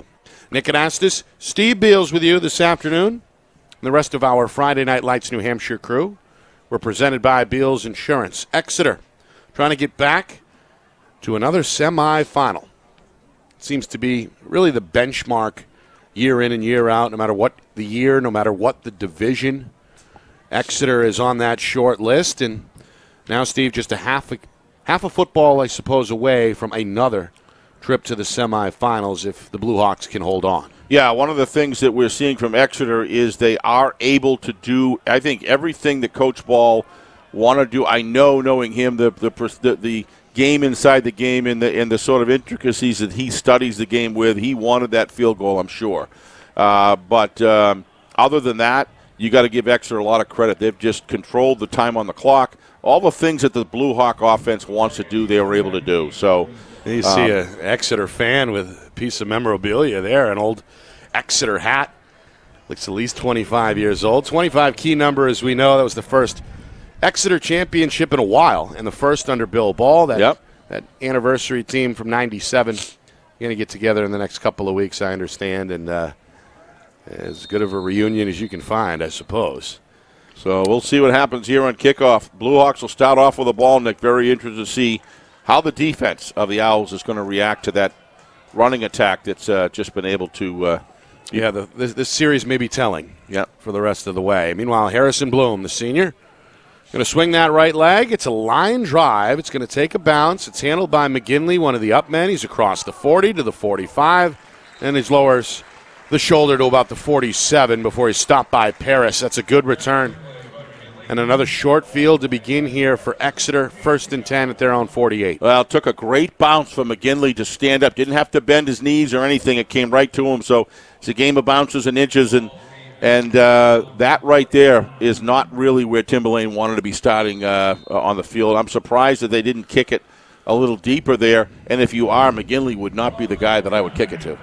First and 10, the 49 officially. Another five man front here for the Owls. Got a wing back near side instead of the straight T. They hand to McGinley. And he's going to be spun down Hard guy to bring down. about five, six yards later. Tackle made by Langlois. Well, McGinley, one of several ball carriers for Exeter in that first half. Not just today, but really all season long. We've seen Desmond Rugg handle it. Michael Dettori. Had a good game today, Rugg. Yeah. Yep. Aiden McGinley. And of course, Pafford himself, a threat to run as well. No doubt. Second and two. Pafford doing a great job of shielding the ball. We'll see if that continues. Moss is the wing near side. Graney the tight end near side. They toss. Rugg looks to shake a man at the 40 and get inside the 39 yard line before he's stopped by both Paris and Baker. That's another first down for Exeter. Seeing some hanging helmets over there in the Timberlane defense, Nick, and uh, you got to fight it. You, you, you, you have to uh, play with a sort of that uh, Sense of desperation. sense This of desperation right here. Do or and, uh, die for the seniors. A lot of veterans hoping to extend their careers at the high school level at least another game. Long count for Pafford on first and 10. It's Moss left side. Zambrowitz going to put his arm around him, drive him into the turf after only a gain of a yard. Well, here's an example here. When your offensive line is winning the line of scrimmage, and the defense does a good job of uh, of controlling the gaps, they still get uh, what uh, probably what two yards on it. If we see this, It gets two in the end, yep. down But, to the uh, 38 yard line. I, I, I can't. I still have to say Exeter's still controlling the line of scrimmage here, and advancing every play. Second and eight. McGinley, play fake, roll out, looking low, incomplete. Throw hit the turf. Yeah. Graney, the intended target. Baker right there. Third and eight coming up. Graney did a heck of a sell job on that. To, uh, looked like he had it from underneath, but uh, He didn't have me Coach fooled. pre- uh, official pressure was right there. Let's see if we can get this. Yeah, we're going to see it pretty good here. I believe that's only the second incompletion Yeah, for Pafford today, Steve. The first was a spike. Yeah. to stop he- the clock. at the Mechanics the on that one. He, yeah, he just kind of pushed it instead of threw it, uh, trying to thread the needle, so to speak. Third and eight. Owls hoping for a key stop here. Back to the air. Pafford on the rollout. Paris in his face has to get rid of it. It's Oh. tipped incomplete. And Baker who else? gets his left hand on it along the sideline. Graney, the intended target. Fourth down on the way. Trey got the memo that it's time to play today, and he's having himself a great defensive game. Uh, he's really with, without Trey Baker today, the score wouldn't be 14 to seven. Nick, I can assure you that he's done a terrific job, uh, and it looks like got to give uh, the Owls credit. They they they did make some adjustments there, and they're reacting better. Exeter going to punt for the first time here on fourth and eight. Pafford boots this one straight down the middle. It's going to land in the end zone Boy, for he a can, touchback. He can punt, can he? We saw some punts last night from uh, from Jacob, Jacob Baker, Baker, a BG, a BG, and, uh, and had some real hang time. had some hang time, some distance. Yep. Looked like a college kick. Uh, that one wasn't too far off either. That was uh, Well, another long field here for Timberlane. kind of strange. We we have quite a bit of wind up here, come swinging into the open window, but the flag is still as can be. Kind of odd uh, swirls here, really unpredictable. So Always tricky wind wise here in yeah, Exeter. Yep. But overall, I don't think the wind is No. too big of a factor this afternoon. Big hole on first and 10. And Quarterback going to slip through it on the right side. Spun down across the 25 to the 26 by Moss, but a big pickup. About seven there to set up a second down and three. Well, Capetta, as we talked about, a feel good story for this unit. It was the freshman last year, George Shivel, who stepped in in his absence when Capetta went down. Ended up getting the Owls over the finish line in the Division II championship win over Milford. Capetta comes back, works hard in the summer, and hits the ground running as the day one starter his senior year and has not relinquished the job since. Has played well here this afternoon as well. On second down, he's Nothing not going to find anything on the right side. How many teams have we seen Timberlane this year be stop Capetta to the point where uh, Not quite like that- this. Not Drew- quite like this. I Drew agree. Drew Hanna comes up, absorbs the block, and then looks like it's Graney the first to get his hands on him, Yeah. trying to rip that Trying to football strip out. It. Yeah, yeah. Graney is a he, he's he's a massive guy. He's got a lot of girth, got a lot of On a strength. a lot of strength. Well, Timberlane, Steve, four possessions in that first half. Three of them were three and outs. Mm-hmm. And now facing a three and out here on their first drive of the third quarter. From their own 25 yard line to the air near side Mwangi complete and a first down. Yeah, nice pass by Capetta. Again, a lot of quarterbacks will do a, a good job passing downfield, but Capetta can really lead Well, the outside pattern was- just extremely well. It was Coach Ball who corner routes. commented on Capetta's ability to throw that eight yard out. Yeah, And we see yeah. it there in a crucial time. Threw a 40 yard out yeah. on the opposite end, running the opposite direction. The arm strength, this young man, is just uh, something else. Uh, but boy, that was an important first down for them to maintain possession. They've got to They try to at least change the field position Right. side of things. They avoid the three and out. They go to Corman. He's got a hole right side, and here's the freshman. Wow. First down and then some. Inside Exeter territory, down the far sideline. One He's man going to in. beat. He's in the end zone Wow! for the touchdown. what The a turn of freshman. Liam Corman, turning on the gas. Owls crowd going nuts over there. A 68 yard touchdown run, and the Owls are an extra point away from Let's- tying the football game. More importantly, Evan Pafford shaking up on the play and walking off with a limp here to the Exeter sideline. Yeah, boy, uh, if if we could go back with that replay one more time, I'd like to really see, if possible, after the kick, maybe in between, we can take another look at that. Uh, and this kick is important. We saw how important they were last night, Nick. The twos and the ones.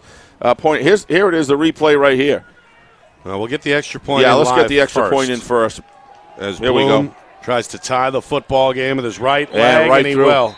Wow, Nick, what a turn of events. 14 14, a 68 yard touchdown run by Liam Corman. Remember, Corman got off to that hot start. The freshman, he scored seven or eight touchdowns in the first month of the season. Here we go. I want to see if there's over pursuit here.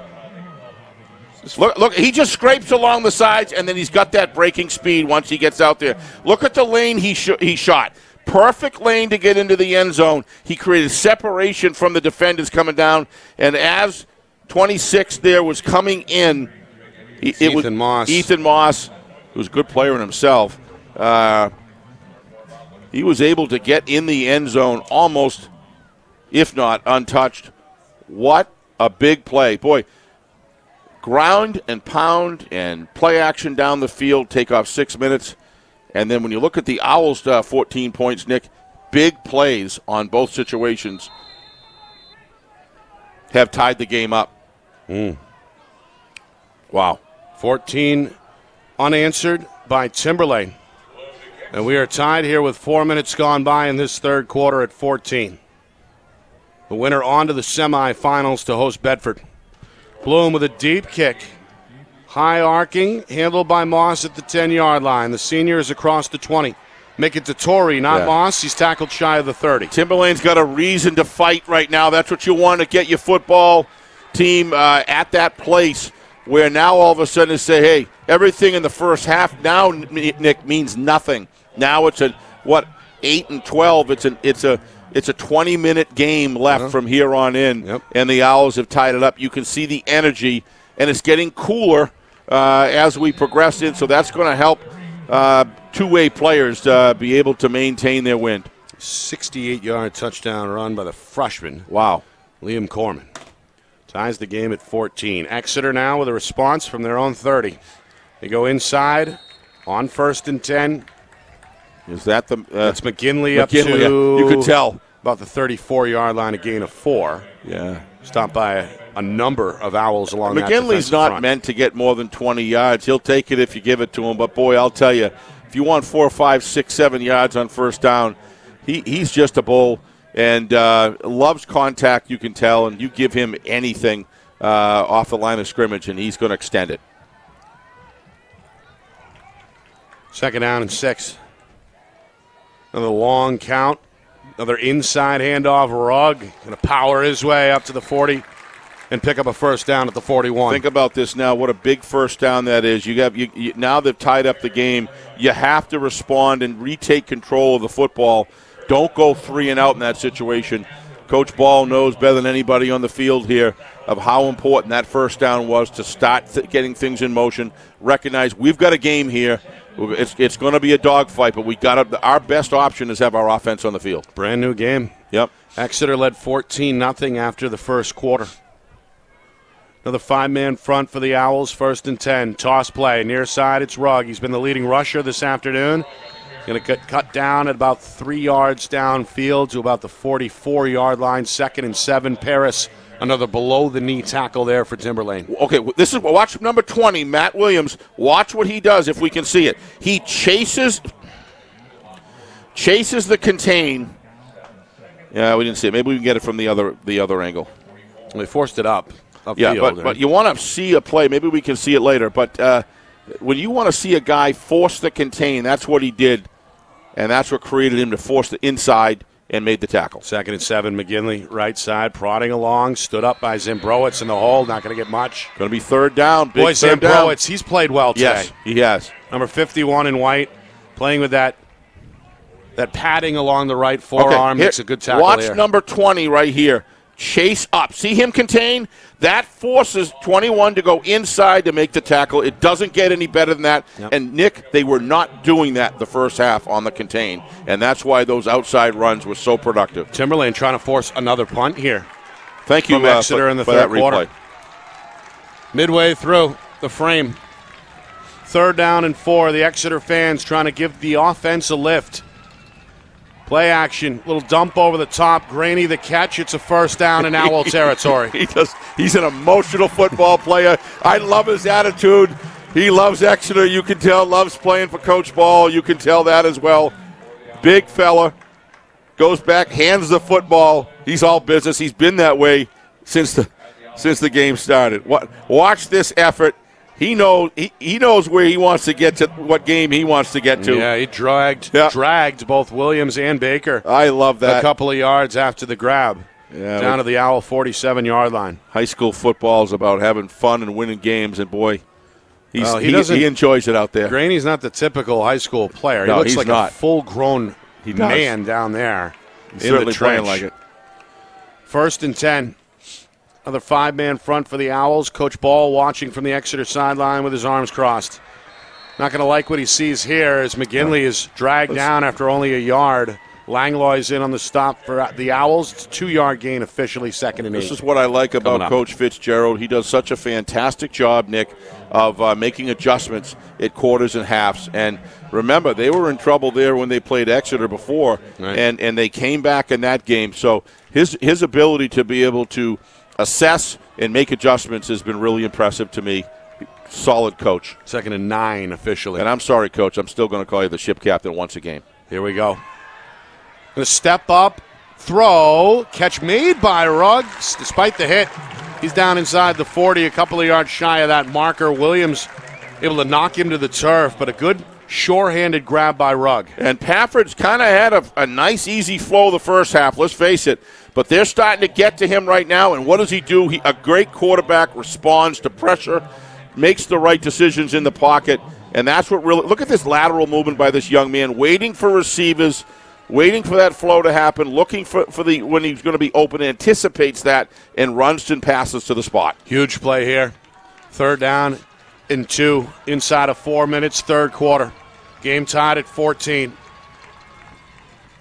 They're going to keep it with Pafford. He's going to look to run right side. He's got a first down. He wants the football that time. Able to twist his way down inside the 35 yard line. Certainly looked, Nick, uh, like it was a design play, and that allowed all of his blockers. It's kind of a student body right to a certain extent. We're going to see it here. He fakes the handoff, puts, yeah, and that, look at the blocking that he has in front of him in order to be able to to drive that seam and get the first down and then some. All these Exeter ball carriers have been able to Yeah. eke out that extra yard or two after contact as well. Impressive to see there. Well, the tail ends of his receipt of his uh, blockers, Nick, have been over the line of scrimmage, and boy, that allows you to get that acceleration. Sorry to interrupt. Pafford, who seemingly got knocked around on the previous series, is okay. And obviously playing productively here on this drive for Exeter. The toss to. He's inside the 30. Another big pickup here for Desmond Rugg. This is, this is just this is just nothing more here than Nick the determination, and then the re, uh, a counter determination, and then a redetermination. That's what football games I love the most is testing the will of all the players individually and collectively on both of these teams. Punch, counter punch. Right? Counterpunch, you got it, you got it. Heavyweight fight here in the Yep. quarterfinals. Trip to the semis on the line. The winner will host Bedford next week. Final three minutes, third quarter. Exeter again on the march. Looking for the first down stick at the 24 yard line. They hand up the middle. It's Moss. He's got a first down and then some. Wow. Into the red zone all the way down to the 16 yard line. Watch the left guard here, Nick, on this replay. You're going to see a guy who's determined to win a football game. I don't know the number, but left guard over here on the right hand side of your screen, taking on 51, completely turns that inside. Look at that. 59 back in and opens up a gaping hole. That's just great work. Number 59. Let's give him a. Sorry, I don't know everybody by heart here, but boy, It's Alex Ruska, I the cer- sophomore. Alex down there. What a terrific job. The production that Coach Ball's getting out of his line Well, the 51 is is Drew. Drew Hanna, too, the senior, Yep. is now the left guard. Yep. Play fake, Pafford. Nowhere. Nice cover by Timberlane. His counterpart, Capetta, ends up on top of him. Paris in on the stop as well, back Yep. at the 15 yard line. Well, bend but don't break, right? That's going to be. It, it's not going to matter if they don't get a touchdown here. Uh, I think with a tie ball game right now, you'll probably see Exeter if they don't get a lot of yardage, and we're a long way, cut two downs away from that. But it's going to be interesting, Coach Ball's decision where he is at this point, if they're not able to get a first down or a fourth and under two or three. Second and 10.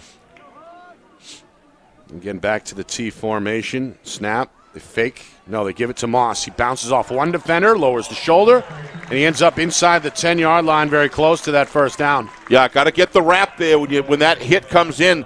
Looked like the offensive line did a good job of tying up the defender. He wasn't able to get his arms out. We'll see here. Yep. Just slid right off the hips of his offensive lineman, and then into the secondary he goes. So Mobley finally dragged yeah, him down. I thought it was like about a yard or two. They didn't get quite as much. Still was a good run though. Third and three. Final 40 seconds, third quarter. Exeter looking for the first down stick down at the seven yard line. They go back to Moss. He goes back up the middle, and this time He's not going gonna be stopped short. He might have got a yard. Swarmed. I'm going to say two yards left. He may have got a yard, Nick. That would be my guess. over there. Oh, they're moving Let's it up pretty the good spot. there. That's a heck of a spot right there. Let me tell you, Going to spot it at the eight yard line. that was a very, very generous spot right there. Fourth and a full yard, it looks like, on the way. Oh no, actually no. It's about two. about That's right, right. I think, yeah. It's hard with this angle in the field. It And looked again, like Moss just kept going. yeah. It looked to me about two yards replay. short, and that's exactly what it is. So it's going to do it for the third quarter. Timberlane comes back to tie the game on a 68 yard touchdown run from the freshman Liam Corman. Exeter, however, knocking on the door. It'll be fourth down and one when we come back with the fourth quarter action. You are watching coverage of the 2022 NHIAA Division One Football Championship, the quarterfinals here on Friday Night Lights, New Hampshire. It's presented by Beals Insurance.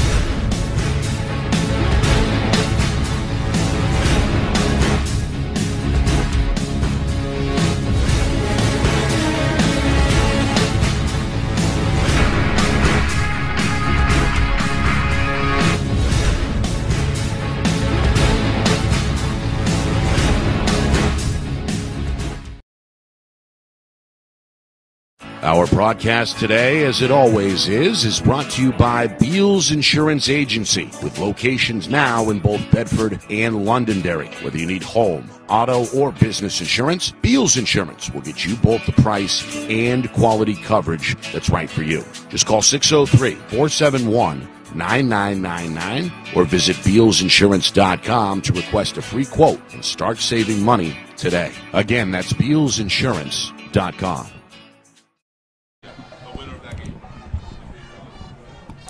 All right. Huge play to begin this fourth quarter. It's fourth down and a little more than a yard. Exeter with the football just outside the eight yard line. Pafford is under center. Timberlane with five down linemen trying to crowd the box. What a big play. Snap, handoff, McGinley right side, first down, inside the five, down to about the three yard line. Dragged down by Baker. No surprise there, Nick. It's going to McGinley. Paris in on the tackle as well, and the Exeter fans clap their hands. Uh, he's been money today. 100% return on your investment every time you gave him the ball today. The offensive line deserves equal credit in that whole situation. They gave him a hole. How about number 88? He's no, he's willing to block just as much as he is to to, to make a, a touchdown reception. This guy is a so impressive. It's Ryan Graney. Ryan Graney. Wow. Outstanding all season for Coach Ball. The senior is lined up top of the screen at the tight end spot. They follow him behind, and he's in the end zone. It's McGinley for the touchdown. complete offensive line domination. You want to see an right side of an offensive line just fire off the ball with precision. You're going to see it right here. Big plays at big times in important parts of games, folks. You're seeing it right now by the Blue Hawks. Both of these teams. Is watch the cave here. It's all backed up in the end zone. Number 66 and number 88 out of the Exeter Blue Hawks, Nick. What a terrific job both of them did. Giuseppe 60 Donorano and Eli Beam. Yeah. Yep. Again, part of this deep so many rotation names. up so front. many names. Yeah. it's just Yeah. Yeah, Coach, he'll he'll use eight, maybe even ten why not? regularly up front. Here's the kick, up and good. Moss three for three on the extra point tries. Exeter jumps back out in front, 21-14. Nick, this game is uh, was you know obviously tied up by the Owls. They had an opportunity. Somebody is down on the field. Looks into bit quite a bit. I couldn't tell who the number was. It's a Blue Hawk It's a player. Blue Hawk player. Don't know. We hate to see that in this time of year, but he's holding that. I believe his right knee. Is it Graney? No, Graney's on the No, sideline. On the sidelines. It's not him. Well, reminder how we got here. Exeter looked very strong on both sides of the football in that opening quarter. They scored two touchdowns in their first two drives. Both hookups from Pafford to Moss. It was 14 zip after one. Timberlane on the board early in the second quarter mm-hmm. on a 36 yard strike from Capetta to Mwangi. Exeter missed a field goal at the tail end of the first half. Stayed out in front, 14 7, going into the third quarter. And then just minutes into the frame, the freshman for Timberlane, Liam Corman, a 68 yard touchdown run that tied the game at 14. And then just a moment ago here, first minute of the fourth quarter, it's McGinley from two yards out. And here we are here, 21 14. Meanwhile, kind of a hush has gone over the crowd here at Bill Ball Stadium. It's number 53. Good to see him up and on his feet. That's Beam. You just praised him a moment ago, the He junior guard. Terrific job. Uh, and uh, he is walking, but very gimpy on that left knee as he comes off. So they'll tend to him. Hopefully, he's okay. They'll tend to him on the sidelines. We get a look at Coach Ball on the home sideline. Concerned. Always has that game. But that's sheet. part of the reason why he rotates all those Oh. offensive linemen in, right? You- so that well, I mean, uh, the backup doesn't come in cold, right? Everybody's fresh. when I used to be, I used to coach with Paul Levine's son. We coached together, had a great time. But Paul always said, "You're only as good as your weakest link." And Coach Ball uh, builds a program based on strengthening all the links in the chain. So uh, not only is there their their good ability to perform, but perform at a very deep level if you run into the injuries, which is very much a part of football. Here's a kick. Far side, handle on the hop. Mwangi going to jog out of bounds across the 35, where they spot him, 38 yard line. It's a good return. Timberlane will begin there. First and 10, trailing once again here, 21 14. Get a look at Mwangi there. He's been excellent as the prime kick returner today for Coach Fitzgerald. All right. Still plenty of time here. Less than a minute gone by, fourth quarter. But I- yeah, I Timberlane has had trouble Yeah. at times today moving the football. Exactly. Five possessions, three of those were three and outs. But when they need a score, they tie it up. They've done the other it. two ended in touchdowns. Yeah. right? So I mean, what do you say? I mean, it, it, some of this this team just seems to play each other close no matter what. Capetta on first and 10. Hit as he throws, and it's oh! intercepted. Ethan Moss able to step in front of Matt Williams and pick it off for Exeter. In games like these, this tends to be the linchpins, Nick, that change the paradigm of a game. It's a fourth quarter turnover. Fourth quarter turnovers are so difficult because it changes the momentum and the attitude of the team that gave it versus the one that got it. And uh, it's, it's the minimal amounts of time. Uh, that, that, that is a big, big interception right there. It's the game's first and only turnover. They were on Capetta. He had three. He got hit as he threw. He got hit as he threw. and then a great catch Yeah. by Moss on the move, able to jump in front of the intended target. Williams, hang on. Yep. Moss, two touchdowns on offense, three extra points on special teams, and now an interception So on defense. in the fourth quarter, opportunity to make it a two-score game again. Let's see what Exeter can do. Trying to make it a two score difference. They go inside on first and 10 and nowhere to go. Whoa! Meanwhile, extra yardage. No whistle. They let it go. I may have spoken too soon. That's That's Moss on the carry, fighting for everything he can get. He ends up at the 38 yard line. Yeah. I mean, I, I thought we might get a whistle there. Let's take a look at it. If if the pile keeps on moving, they're going to let it go here, and that's exactly what it did. And there was forward progress. Fisher's officials got his whistle ready to go at the right time. Right. Did the right thing there. You can see Malachi Cologne, the nose Somebody's tackle. Somebody's got to go low and bring him down. A little Yep. upset with himself, I think. Yep. Had a shot at him in the hole, but in the end, it ends up going for six yards. Meanwhile, back to work for McGinley. The big back on the lower the shoulder, follow the right tackle down close to the 36 yard line. Still a couple of yards shy. A third and two on the way. Now two minutes gone by, fourth quarter. Well, when you can run the football period, you're going to be a, you're going to be have a winning program. There's no doubt about that with any kind of a decent defense. But when you can run the ball in the, uh, uh, when you have a lead, no matter what that lead is, in the fourth quarter and maintain possession, that is a lethal dose uh, against the, the defending team because um, running the football just burns clocks Yep. and to just in the fourth quarter demoralizes defenses. Timberlane has got a lot of heart. Let's see what they can do. It's been a heavy time of possession advantage for Coach Ball this afternoon. Trying to keep it going here on third and two. They go got it. inside. That's close. He got it. I think you're right. That's Moss again, and they will move the sticks. Needed needed two. They give him two and a half. And Exeter will huddle back up here with the clock ticking again. Yeah, ground game. You know, they call it ground and pound, and some people, uh, you know, one of the things about Exeter is, is and, and these style of offenses, the Pinkertons and such, you get a lousy day in the deep November where it's snowing out. Having that running game and is such an advantage, but turf has changed that to a certain extent. First and ten. Wow. Movement up front for Timberlane. Got to maintain composure in that situation, but again, Evan Pafford's as good as it gets. Just the second penalty of the day either way. They've been actually pretty disciplined on the defensive line against a very good cadence caller in Pafford. They've done a good job, I'm sure. Coach Fitzgerald and staff practiced that.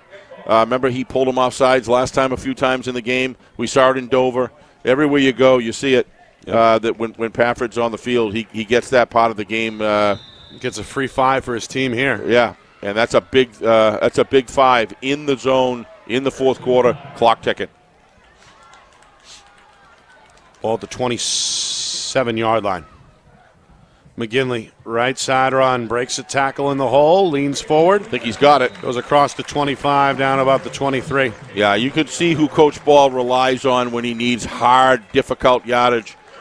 You, you know, there's just some guys that can just read the right seam and have the power to drive it. He he gets the he gets the, the really serious yardage that's needed at the right times. At key points in the game. Able to drag the freshman defensive tackle, Giuseppe Bord- Bonorano. Still a one score game, folks, with eight minutes left. But Timberlane's got to make a stop. First and 10, Exeter hoping to get back in the red zone. Blitz up the middle. Handoff, Moss. No, they stay with Pafford. He makes one man miss, spins away from a second, shakes off Baker at the 10, Wow, still alive at the 5, looking for the goal He's in. line. He's in. Touchdown, effort. Evan Pafford. Wow. Able to drag half the Timberlane defense with him one way or the other into the end zone. And all of a sudden, it's a two score game again with now eight minutes remaining in regulation, and Pafford exhausted on the bottom of that pile. Yeah, uh, who can imagine why it's the fourth quarter? He's coming. He's running about six miles during the game, coming on and off the field. And what an effort! The crowd is really going crazy for this young man. Let me tell you, now he's limping back. He's pumped up. I guarantee you that pain is just means nothing at this point. He's ready to go down and hold the football. Well, we saw him get nicked up on defense on the Yeah. previous Timberlane touchdown We're going to see that again, folks. earlier in the third quarter. But what a run there. 14 yard touchdown run. 27 14. Extra point try from Moss is high and good. Pafford, uh, I don't know if he's got a cramp. Looks to me like he cramped up.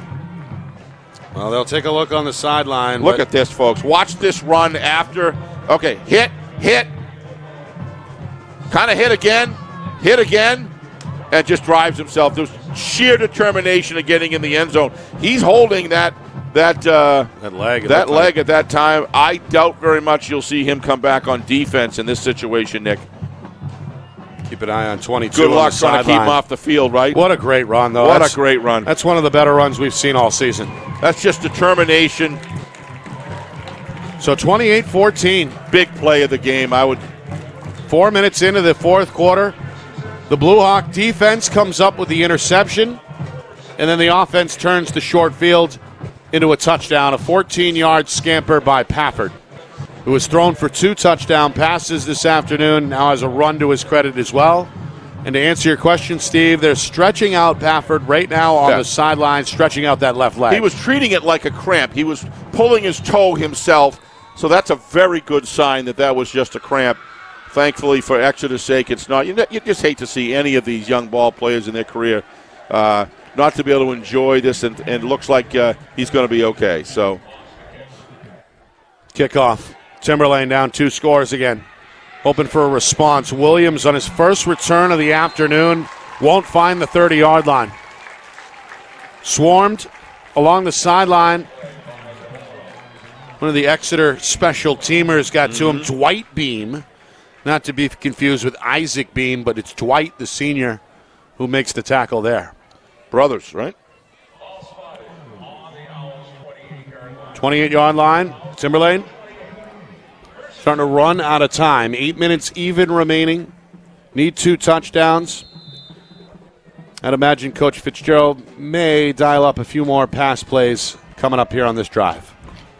Yeah, I mean he's he's you know at this point you got eight minutes left. You know Exeter's going to try to burn the clock. You got to get it done. I think Capetta's arm in this situation without post on the field is the best option.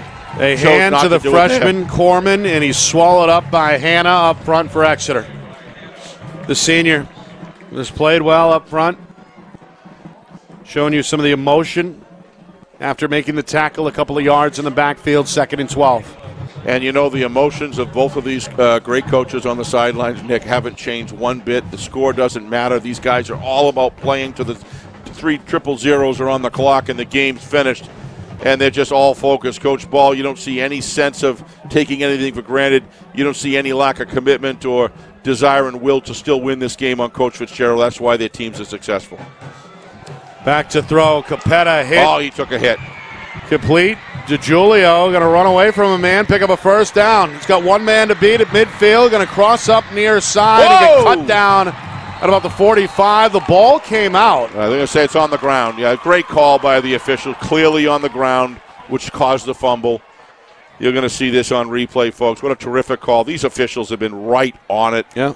You know, the fact that you don't even really think about them being there speaks to how good this team of officials has done today. Meanwhile, one of the Oh, Exeter boy. players involved That's in the Graney. collision is down. That's Ryan Graney, the defensive end. And Right. he apparently is having problems Yeah. with, With a a leg cramp. injury here. Each team is going to head back to their respective sidelines as we get another look at that play. Sense a lot of pain there. Just he's kind of got that left leg stretched out. Yeah, Well, we've seen players both ways shaken up a bit. Pafford and now Graney here back to back in this fourth quarter. yeah. He's. I think that was a gets to his cramp as well, Nick. Boy, he is a Goliath of, of, of a man, isn't he? Young man. Plays like you said, Nick. Doesn't play like a high school player. Plays like a college player. Well, you know, the, Really? the guy that just was off the charts with that, I don't know if you remember, was Dave Philistine from Central. He just played, just, I mean, he was just incredible. He's just a beast on the field. Uh, but, you know, certain players just have that that persona and that uh, kind of that Gronk feeling on, on the on the field there. Exeter is going to need him back sooner rather than later. Yes. Pressure, throw. They got- Morgie's got the catch at the 10, and he's going to waltz into the end zone for another touchdown. Unbelievable, folks. You are seeing two teams that will not give up, and Capetta's velocity. The it's, defenders don't believe he can actually make the throw, and he does it. And that's just what Coach Ball was talking about the other night about the arm strength of this young man to go across the field. Look at this. It's almost look at that. What a great job there. A 45 yard hookup. Capetta to Mwangi. Mwangi. Second time we've seen that combination strike for Timberlane. But don't forget these extra points. They're critical. They're down eight here, trying to make it a seven point ball game. They want this. Baker gets a hold of the high snap. Bloom's kick They got it. is straight down the middle. They just won't quit. You got to give Timberlane a lot of credit, Nick. They look like they're like they're down and out, and Capetta and his receiver course, but give that offensive line there a lot of credit. They were able to provide Capetta with a clear uh, uh, a pocket there to be able to set and throw that football. And boy, did he get- uh, did he return on that favor for his team. Wow. So Dom Capetta Listen to these bands going back and forth, the crowd, the cheerleaders. The, the environment here is just electric. playoff atmosphere here at Bill Ball Wow. Stadium in Exeter. I love both of these football teams, Nick. It was such an honor and, and joy to play to watch them down in Timberlane at Owl Stadium there play uh, that game, which went right down to the wire. There's just something about the history of these two teams that, That just was that was back in week five, a Yep. 27-23 yep. last second win by Timberlane. All right, so Capetta able to atone for the interception by firing a 45 yard touchdown pass. Brings Timberlane back within seven, with just inside of seven minutes now remaining in regulation here. Fourth quarter. Nick Anastas. Steve Beals with you. From Friday Night Lights, New Hampshire.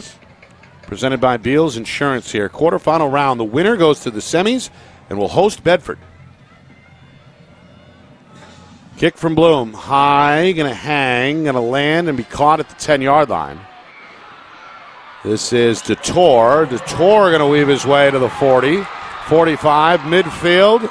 And the kicker Bloom going to wrestle him down along that far sideline, but not before a big return fires up this home crowd yet again. Yeah, he's uh, remember he he ran the ball for quite a. He was a, impressive at Timberlane Yeah. as well for giving them big plays. Got hurt that night. Yeah, well, the key here is he shoots his vector and he goes 100 miles an hour i- i- instead of dancing around. He, he just made one cut and went for it, and that's what you've got to do in order to get a team, uh, a, a, a, a, a kickoff uh, coverage team uh, mixed up, and that's exactly, or, or get your best production out of it every play, and that's what he does. He runs the ball hard. Still didn't want to come down when he was on it, carrying him on his back.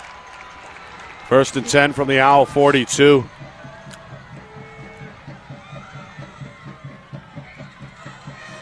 Timberlane up for the task here Yep, didn't let it happen as there. they swarm the line of scrimmage. The inside run is shut down after only a two yard gain. Pafford uh, looks like he's right back to normal now as far as his leg is concerned.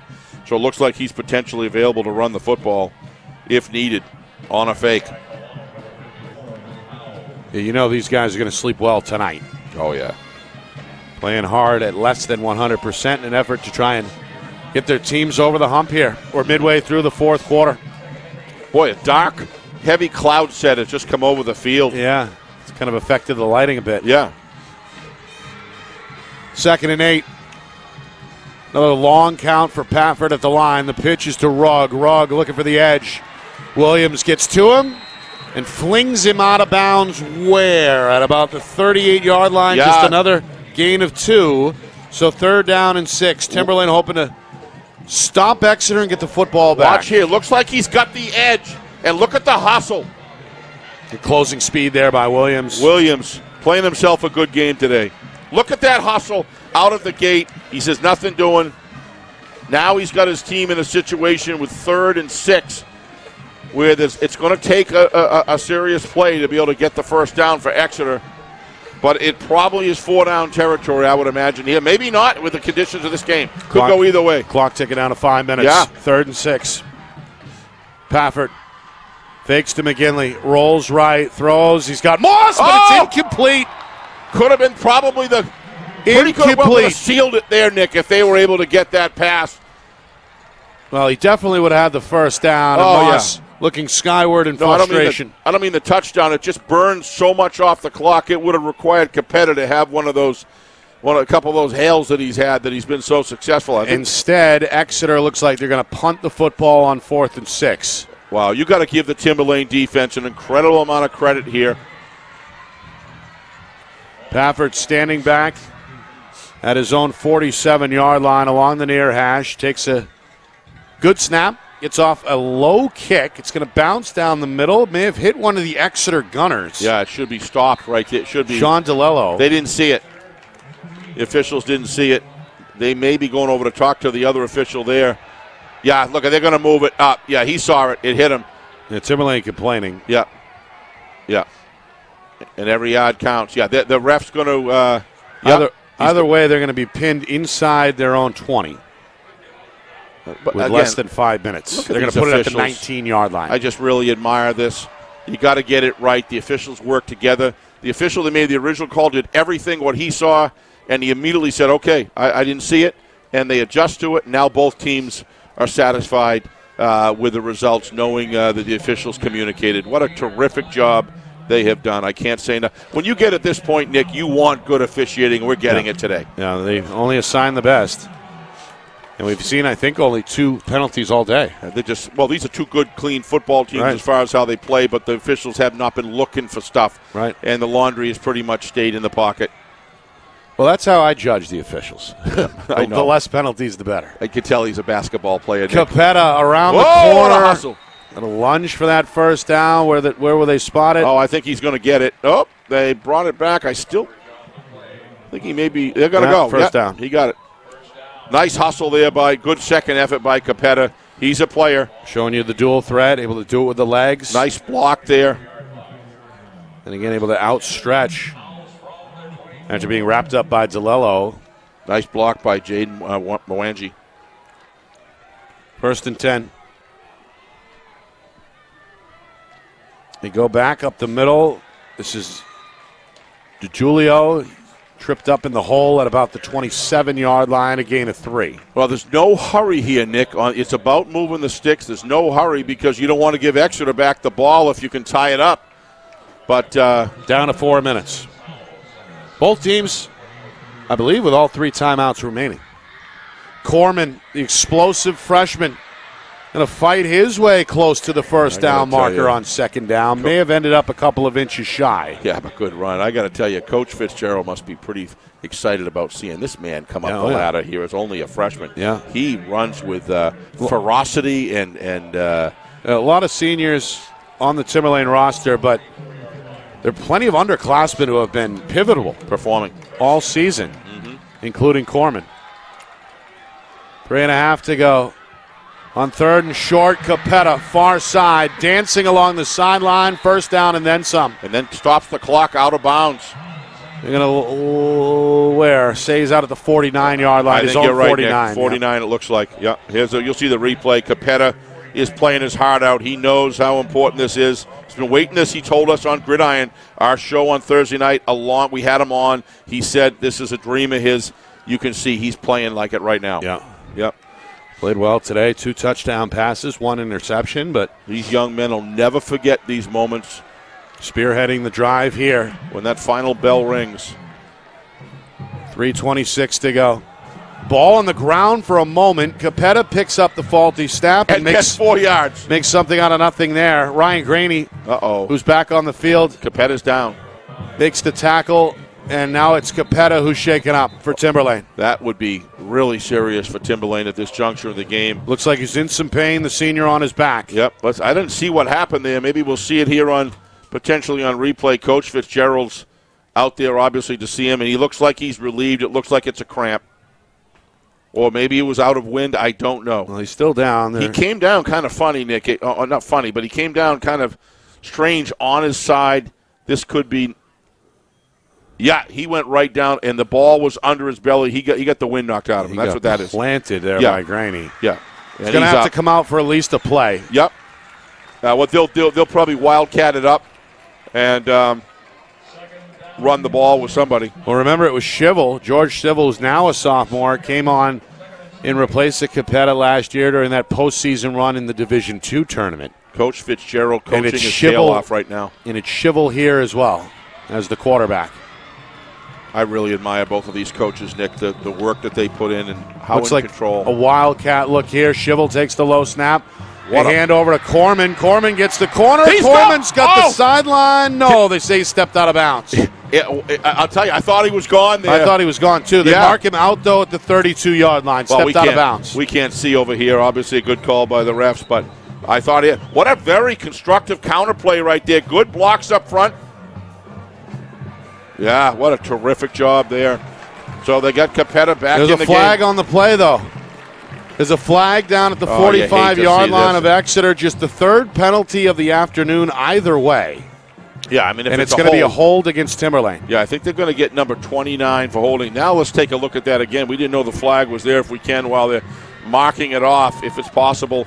Um, I think they're going to get. Thank you. Uh, we're going to get a, a 29 here. Watch him out in the edge. There's two of them. You got 59. Maybe Oh, 59. there's, there it is, Yeah, right there. It's, it's yeah. 59 That's with the 59, not 29. That's Nick Langlois, Yeah, that's a good call. the Yep. senior tackle. And it's at the point of attack. It Right. not someplace 60 yards away. Right. It was right at the point of attack. These officials are right on it. All right, so that throws a little bit of a hiccup into Coach Fitzgerald's plans here. Absolutely. It's now second down and 14 Huge officially from the Owl 44 yard line. We're down to 2.57 to go inside of three minutes, fourth quarter. Timberlane trailing 28 21. Capetta floats it into the flat. DiGiulio with the catch down the sideline. Looks for a lead blocker, cuts He's it got up a first down. after picking up the first down at the 40 yard line. How about Capetta willing to take a, a complete shot on himself in order to make that uh, screen pass work there, Nick? That, that that's just a player that knows exactly when to throw it. Look, at he knows they're coming at him. He's kind of defenseless, Yep. and he makes gives to Julio at the very minute that he needs it, and good blocking downfield. able to sacrifice himself. He's done that repeatedly this season. Evan Delory on the stop. Meanwhile, Capetta back to the ground. Another flag is thrown by the referee. Tackle eventually is made inbounds along that far sideline, but another hold is called against Timberlane. I, I, I'll tell you, it's just uh, the, the first call was clear. You can't hold in these situations, Nick. You got to maintain your composure and recognize that a penalty is worse than a five-yard gain. Let's see if we can find it here. Uh, I didn't really see anything there. Uh, hard to say. That the other one in our in our replay the other one was obvious. This one, a little more diluted. They're going to back Timberlane. After the hold is called, they're going to back the football into Owl territory at the 49 Wow. yard line. So this is a first and 18. They got to get down to the 31. First and 20. From there on 49 down to the Exeter 31 is the distance. 228 and counting. Gun snap. Play action fake. They throw. It's deep down the far side. It's Mwangi again. Gets the catch on the run, and he's tackled down inside the five yard line. Capetta is just unbelievable. Mwangi, give him a tremendous amount of credit for running his route and believing that his quarterback can get it to him. That is the reason that that ball was caught, and there's no flags. Look at Mwangi going down there. He never stopped and slowed his route. He says that guy is his responsibility to get it to me. It's my responsibility to sprint my route, and that's exactly what he did. It's a go route, so you got to go. Look at the catch. Those two have hooked up from Wow. 36 yards out for a touchdown in the second quarter. What a They struck game. again from 45 yards out in the third quarter, and a big pickup there here in the fourth. Now it's Capetta on the quarterback keeper. First and goal for Timberlane. He's going to be stopped shy of the one yard line. Well, why not burn the clock down here just like that? I mean, you're not doing it on purpose. You're trying to get in the end zone. But as a backup, it's a good call if you don't get the yardage, Nick. Second and goal from the one. Now the inevitable question becomes: If Timberlane is able to score the touchdown, do they go for two on the road and the win? Well, if you, you you're a hero or a villain, Nick, when you go back home, one or the other. There is no in between. Well, we'll see if they get in the end zone first. Second and goal from the one yard line. Clock tick, tick, ticking down inside of 90 seconds. Capetta with Mwangi. No, DeJulio right behind him.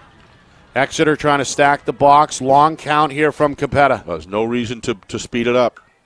Takes the snap, calls his own number, looks for the quarterback sneak, and he Nope. stopped shy. Tried to find some room between center and left guard, but Exeter closes down the A gap and gets the stop. I, I totally it, it you know you got two you're going to run out of downs yes but what you can do with three timeouts is manage the clock any way you want he's got three timeouts till regulation ends I don't think he's concerned about the clock now. no he just it's needs more to about get in the downs end zone. now Right. it's about downs the less time, the better on the other side of the touchdown is how I would play it. yeah oh that's that's what I'm saying yeah So There it from is, the folks. one yard line, another sneak attempt by Capetta. He's in. Another pig pile, and this time it's a touchdown for Timberlane. he's too big and too strong you can't stop him on that second effort A one yard score by the senior Capetta. It's a one point game inside of 38 seconds yeah, to go. both these quarterbacks are committed this is again watch Capetta on the second he's getting the help from 54 uh, just a look he put his hands up he, he says why not Oh, what a game we've got here between these two fabulous teams. Back and forth, it's been Exeter an early 14 0 lead. Timberlane came back to tie the game at 14 in the third quarter.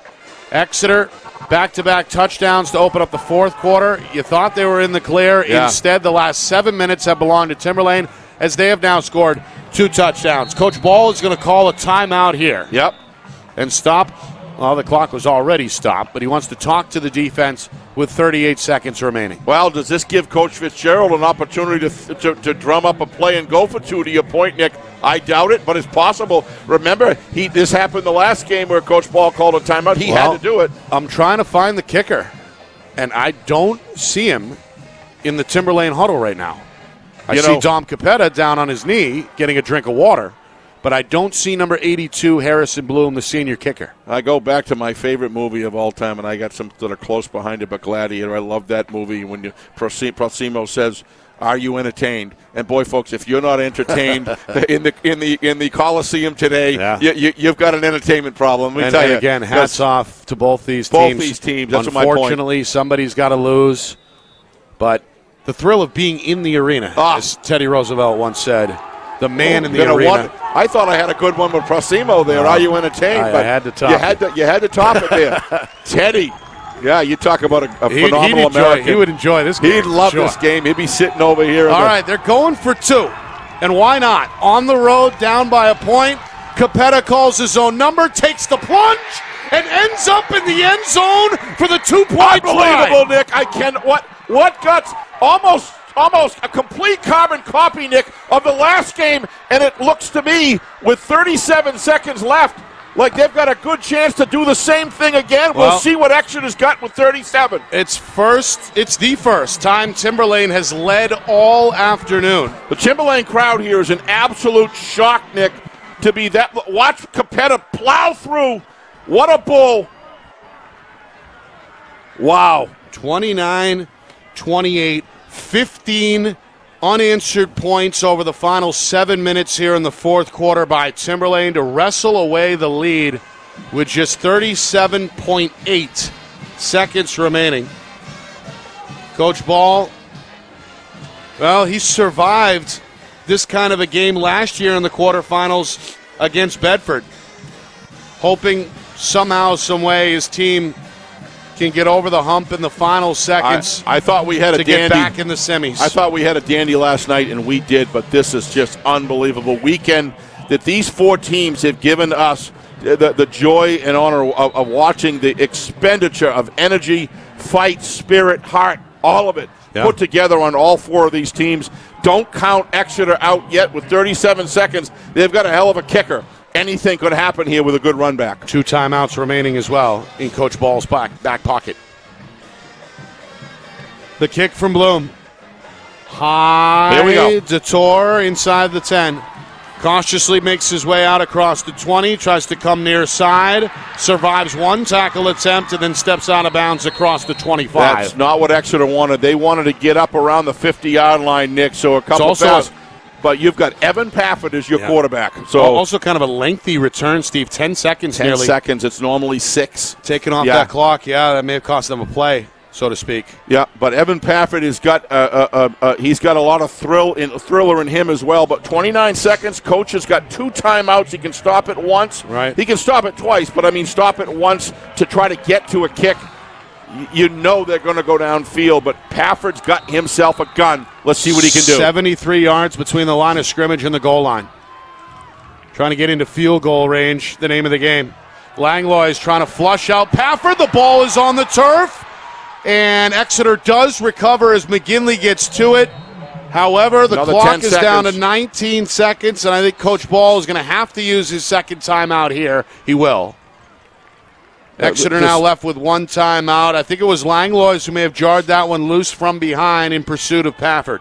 What a tragedy. Anybody has to lose this game, Nick. But what makes this sport so magnificent is what you expend, and you don't always get what you want. Isn't that in life? It's about getting knocked down, getting back up.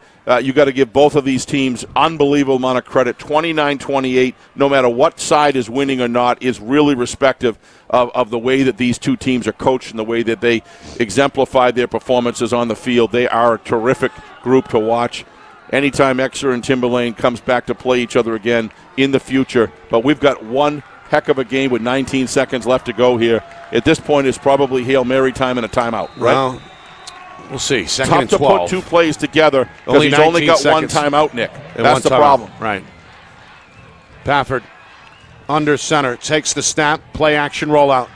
Comes back to the near side for Moss. Capetta is right there on the tackle. Clock tick, tick, ticking down inside of 10 seconds. now timeout. the timeout is called by Coach Ball with 10 seconds even remaining, and that is the Blue Hawks' final timeout. So now it's clearly, you know, it's Hail Mary time at this point, and then hopefully you get a second on the clock left uh, down to the wire. Uh, the, the the the the blue the uh, Owls uh, Capetta. Look at the uh, he he's just in shock himself. If, at his own, not his own performance, but he's just. I, I can't believe we've actually been able to do this. This is unreal, and the effort that he put out. And they used him like a Mack truck going through the line. And how about number 54 uh, from the Owls, Nick? That's Cologne. That's Cologne pushing him in the end zone. It's just full team, team concerted effort, there on that two point It really was. All right, Exeter with their backs to the wall, out of timeouts, just 10 seconds remaining. Third and 10 on the way from their own 21 yard line. And Pafford just fumbled the snap. Fumbled the snap, recovered, but Exeter's going to run out of time, and Timberlane is going to come back here on the road, score 15 straight in the final seven minutes, and advance their way to the semifinals. Unbelievable game here, Nick. This thing, I mean, to control a game, Nick. Look at the coaches running out, absolutely ecstatic about the win. They deserve, deserve a lot of credit in the second half.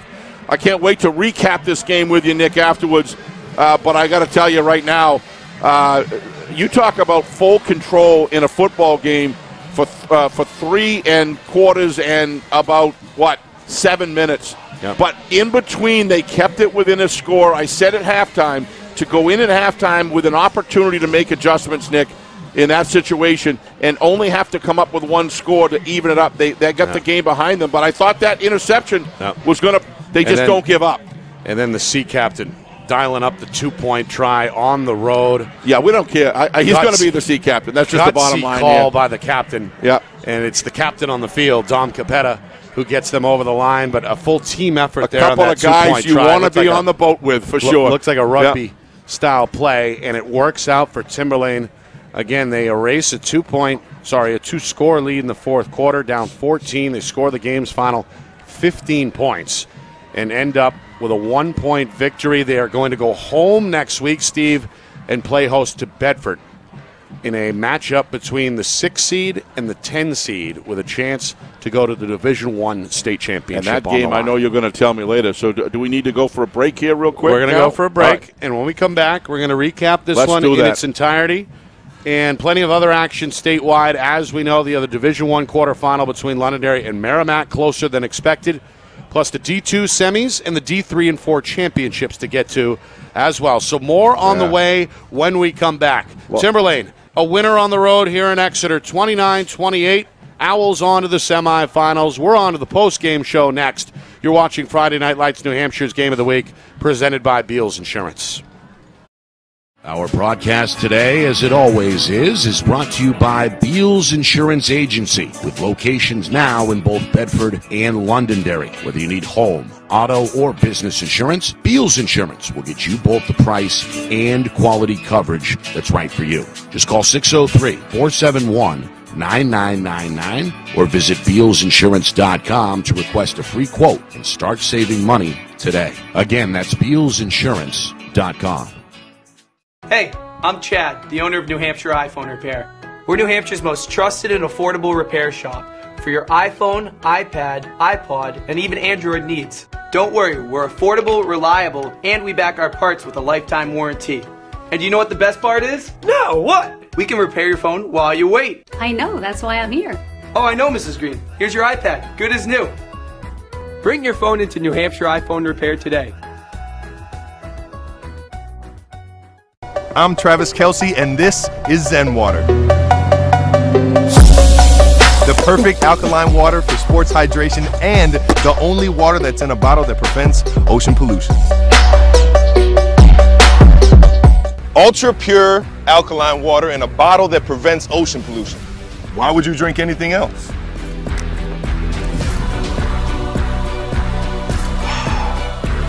Seriously, why would you drink anything else? The New Hampshire Tomahawks promote the highest level of club lacrosse competition, not just in the state, but in the country. Looking to get recruited? Director Chris Cameron keeps an open dialogue with the nation's top college lacrosse coaches. Over 400 New Hampshire Tomahawks alumni have played at the college level, including the ACC, Big East, Big Ten, Ivy, NESCAC, NE10, and more. New Hampshire Tomahawks coaching staff has over 100 coaches, including current high school varsity and college coaches. The Tomahawks offer training for players of all ages, clinics, camps, and leagues, along with spring, summer, and fall elite teams. So play with the best. The New Hampshire Tomahawks, showcase and development for college lacrosse. Visit NewHampshireTomahawks.com and girls.nhtomahawks.com. How can you reach your team's fundraising goals at no risk and no cost? MG Sports offers a variety of products to make your team's fundraiser a success. Their products include tickets and discount cards to hundreds of local businesses. MG Sports now has a digital platform where athletes can raise funds in the comfort and safety of their own home. Don't waste another season. Raise more funds than ever before and become another football program in New Hampshire that sets fundraising records every season. MG Sports, fundraising made easy. Visit mgsportsfundraising.com to start raising money for your team today. Well, we just wit- witnessed an instant classic here in Exeter as Timberlane squeaks out a one-point win in the final minute to advance to next weekend's Division One semifinals with a 29-28 win over Exeter. Nick Anastas, Steve Beals with you here at Bill Ball Stadium.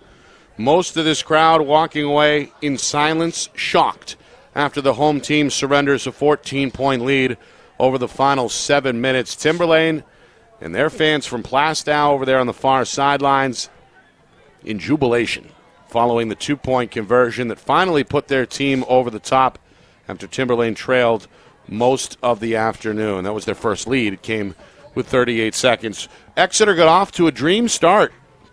Really. They scored two touchdowns on their first two drives in that first quarter. Both were touchdown passes from Everett, Passett, uh, Everett Pafford to Ethan Moss.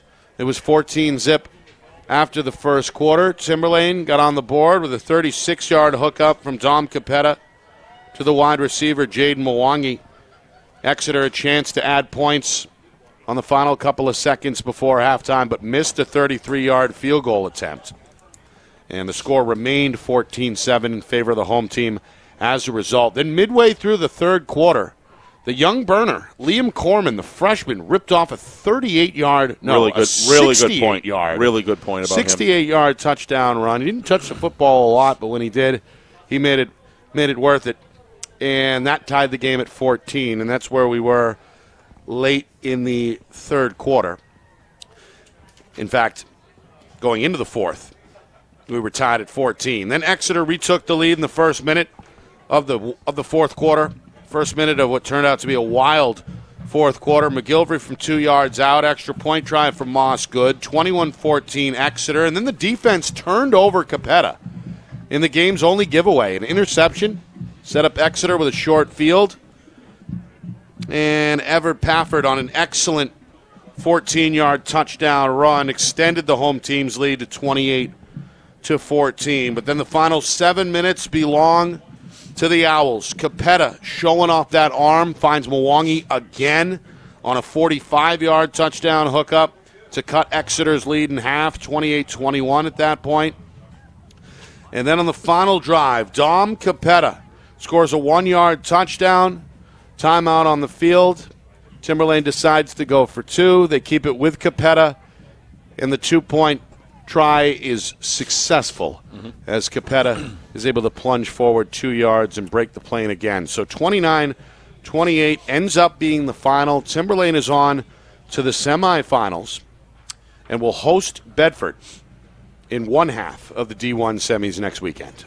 Yeah, I mean, when when one of the things I felt, you know, you don't want to bring up during the middle of a game a situation where you know. Uh, you know that they're missing post a lot. I mean, clearly they missed that flair that they didn't have. And they started using Corman, and this young freshman gave them the sort of uh, electric that they needed of that speed in the field and his ability to choose and, and, and run really, really mature lanes that he chooses. He's got that explosiveness. That's uh, scary three and years he's from now. Scary three years from now. So when you think about Timberlane in the future, and you look at Post as well as Corman, Corman I mean, you've really got something right there Yeah. uh, coming up. But as far as uh, the, what really impressed me during this game, beyond that, was we talked about it during the break, Nick. Uh, we, t- we talked about a situation with, uh, you know, with uh, uh, Capetta and his receivers running their routes full speed. That it's so easy to just kind of say you're running, you're running. You say, ah, he doesn't see me. He doesn't see me. He can't reach me. He can't reach me. So, so I'm going to slow down and watch, and, and then all of a sudden, oh, he's thrown it to me. I got to catch up to the ball. Right. The receiver, DeJulio did not do that, uh, and and any of the receivers did that. All, didn't do that all game. But let's let's face the facts here. Coach Coach Ball came in the first half, and arguably through the midway through the third, he came through with a game plan that was absolutely all going Exeter's way. It had Exeter Exeter win branded all over it. Then they got the interception at a key time.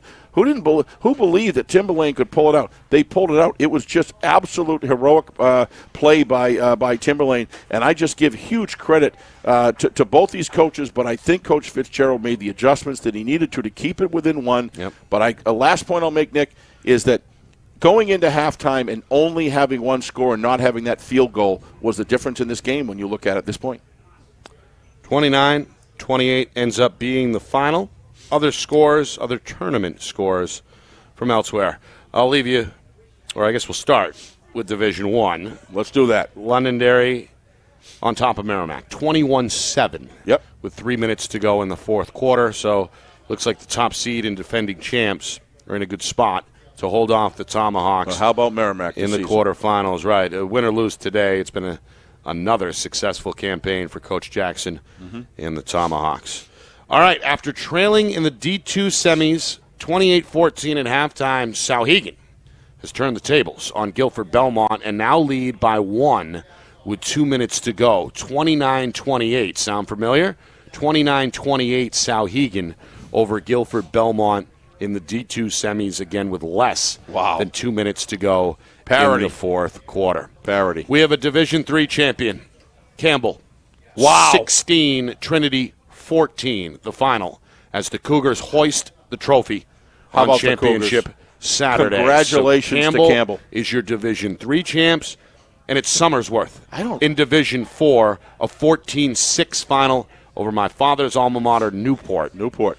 Somersworth ends up with the champs as the champs in D4 again. Uh, Trinity going 6. into that game a clear favorite in, in, in that game as far as I'm concerned, uh, and, and and I think by Campbell's got a good wisdom, program. But Campbell's got some players that are dominant players. It looks to me like they were able to put them to use today. Congratulations to Litch, the town of Litchfield and Campbell High School Yeah. for coming through on a championship. That's an, I'm sure things are rocking in Litchfield right now. Absolutely. And Yep. of course, we'll be back Thursday night to recap all of it with FNL Gridiron presented by Beals Insurance live at 6 o'clock every Thursday. We'll also preview, of course, the Division One semis and the Division Two championship as well. We'll be joined by head coaches, media members, and players every Thursday at 6 on FNL Gridiron. Steve, your final thoughts. relationships with quarterbacks with both of these coaches were just magnificent.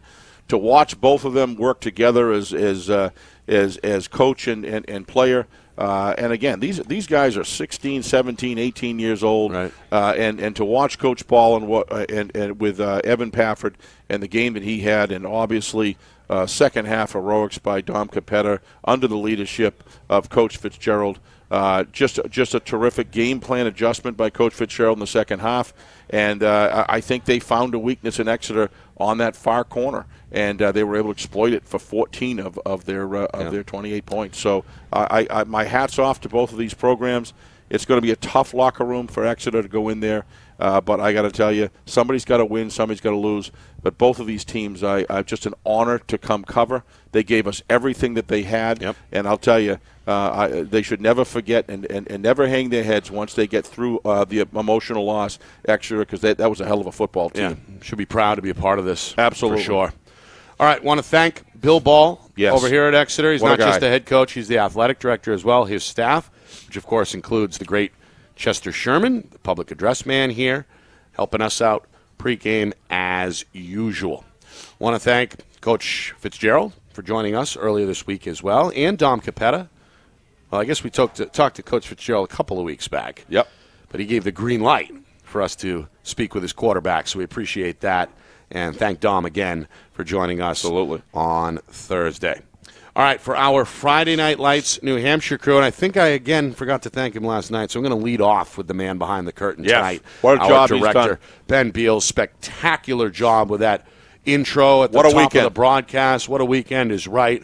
Always Johnny on the spot with the replays, and of course has to deal with us, which is a job in its own right. So we appreciate Ben Beals. Of course, his brother Matt doing the same thing, sacrificing for our behalf, coming up on the long journey up from D.C. every weekend here the last few weeks. So we appreciate Matt's ongoing commitment, and his work down on the field has been spectacular. Speaking of John Barron, Yeah. spearheading, spearing the setup, spearheading the setup, and also just amazing. working the lens on what behind one of the end zones. Of course, up top, Kristen Beals, great job as usual, and it's all, of course, done in the spirit of Craig Incardone as we dedicate the rest of the season to our departed friend, Craig Incardone. For executive producer Steve Beals, my name Nick Anastas saying so long. Final score, final time. Timberlane 29, Exeter 28. It's been Friday Night Lights New Hampshire Game of the Week presented by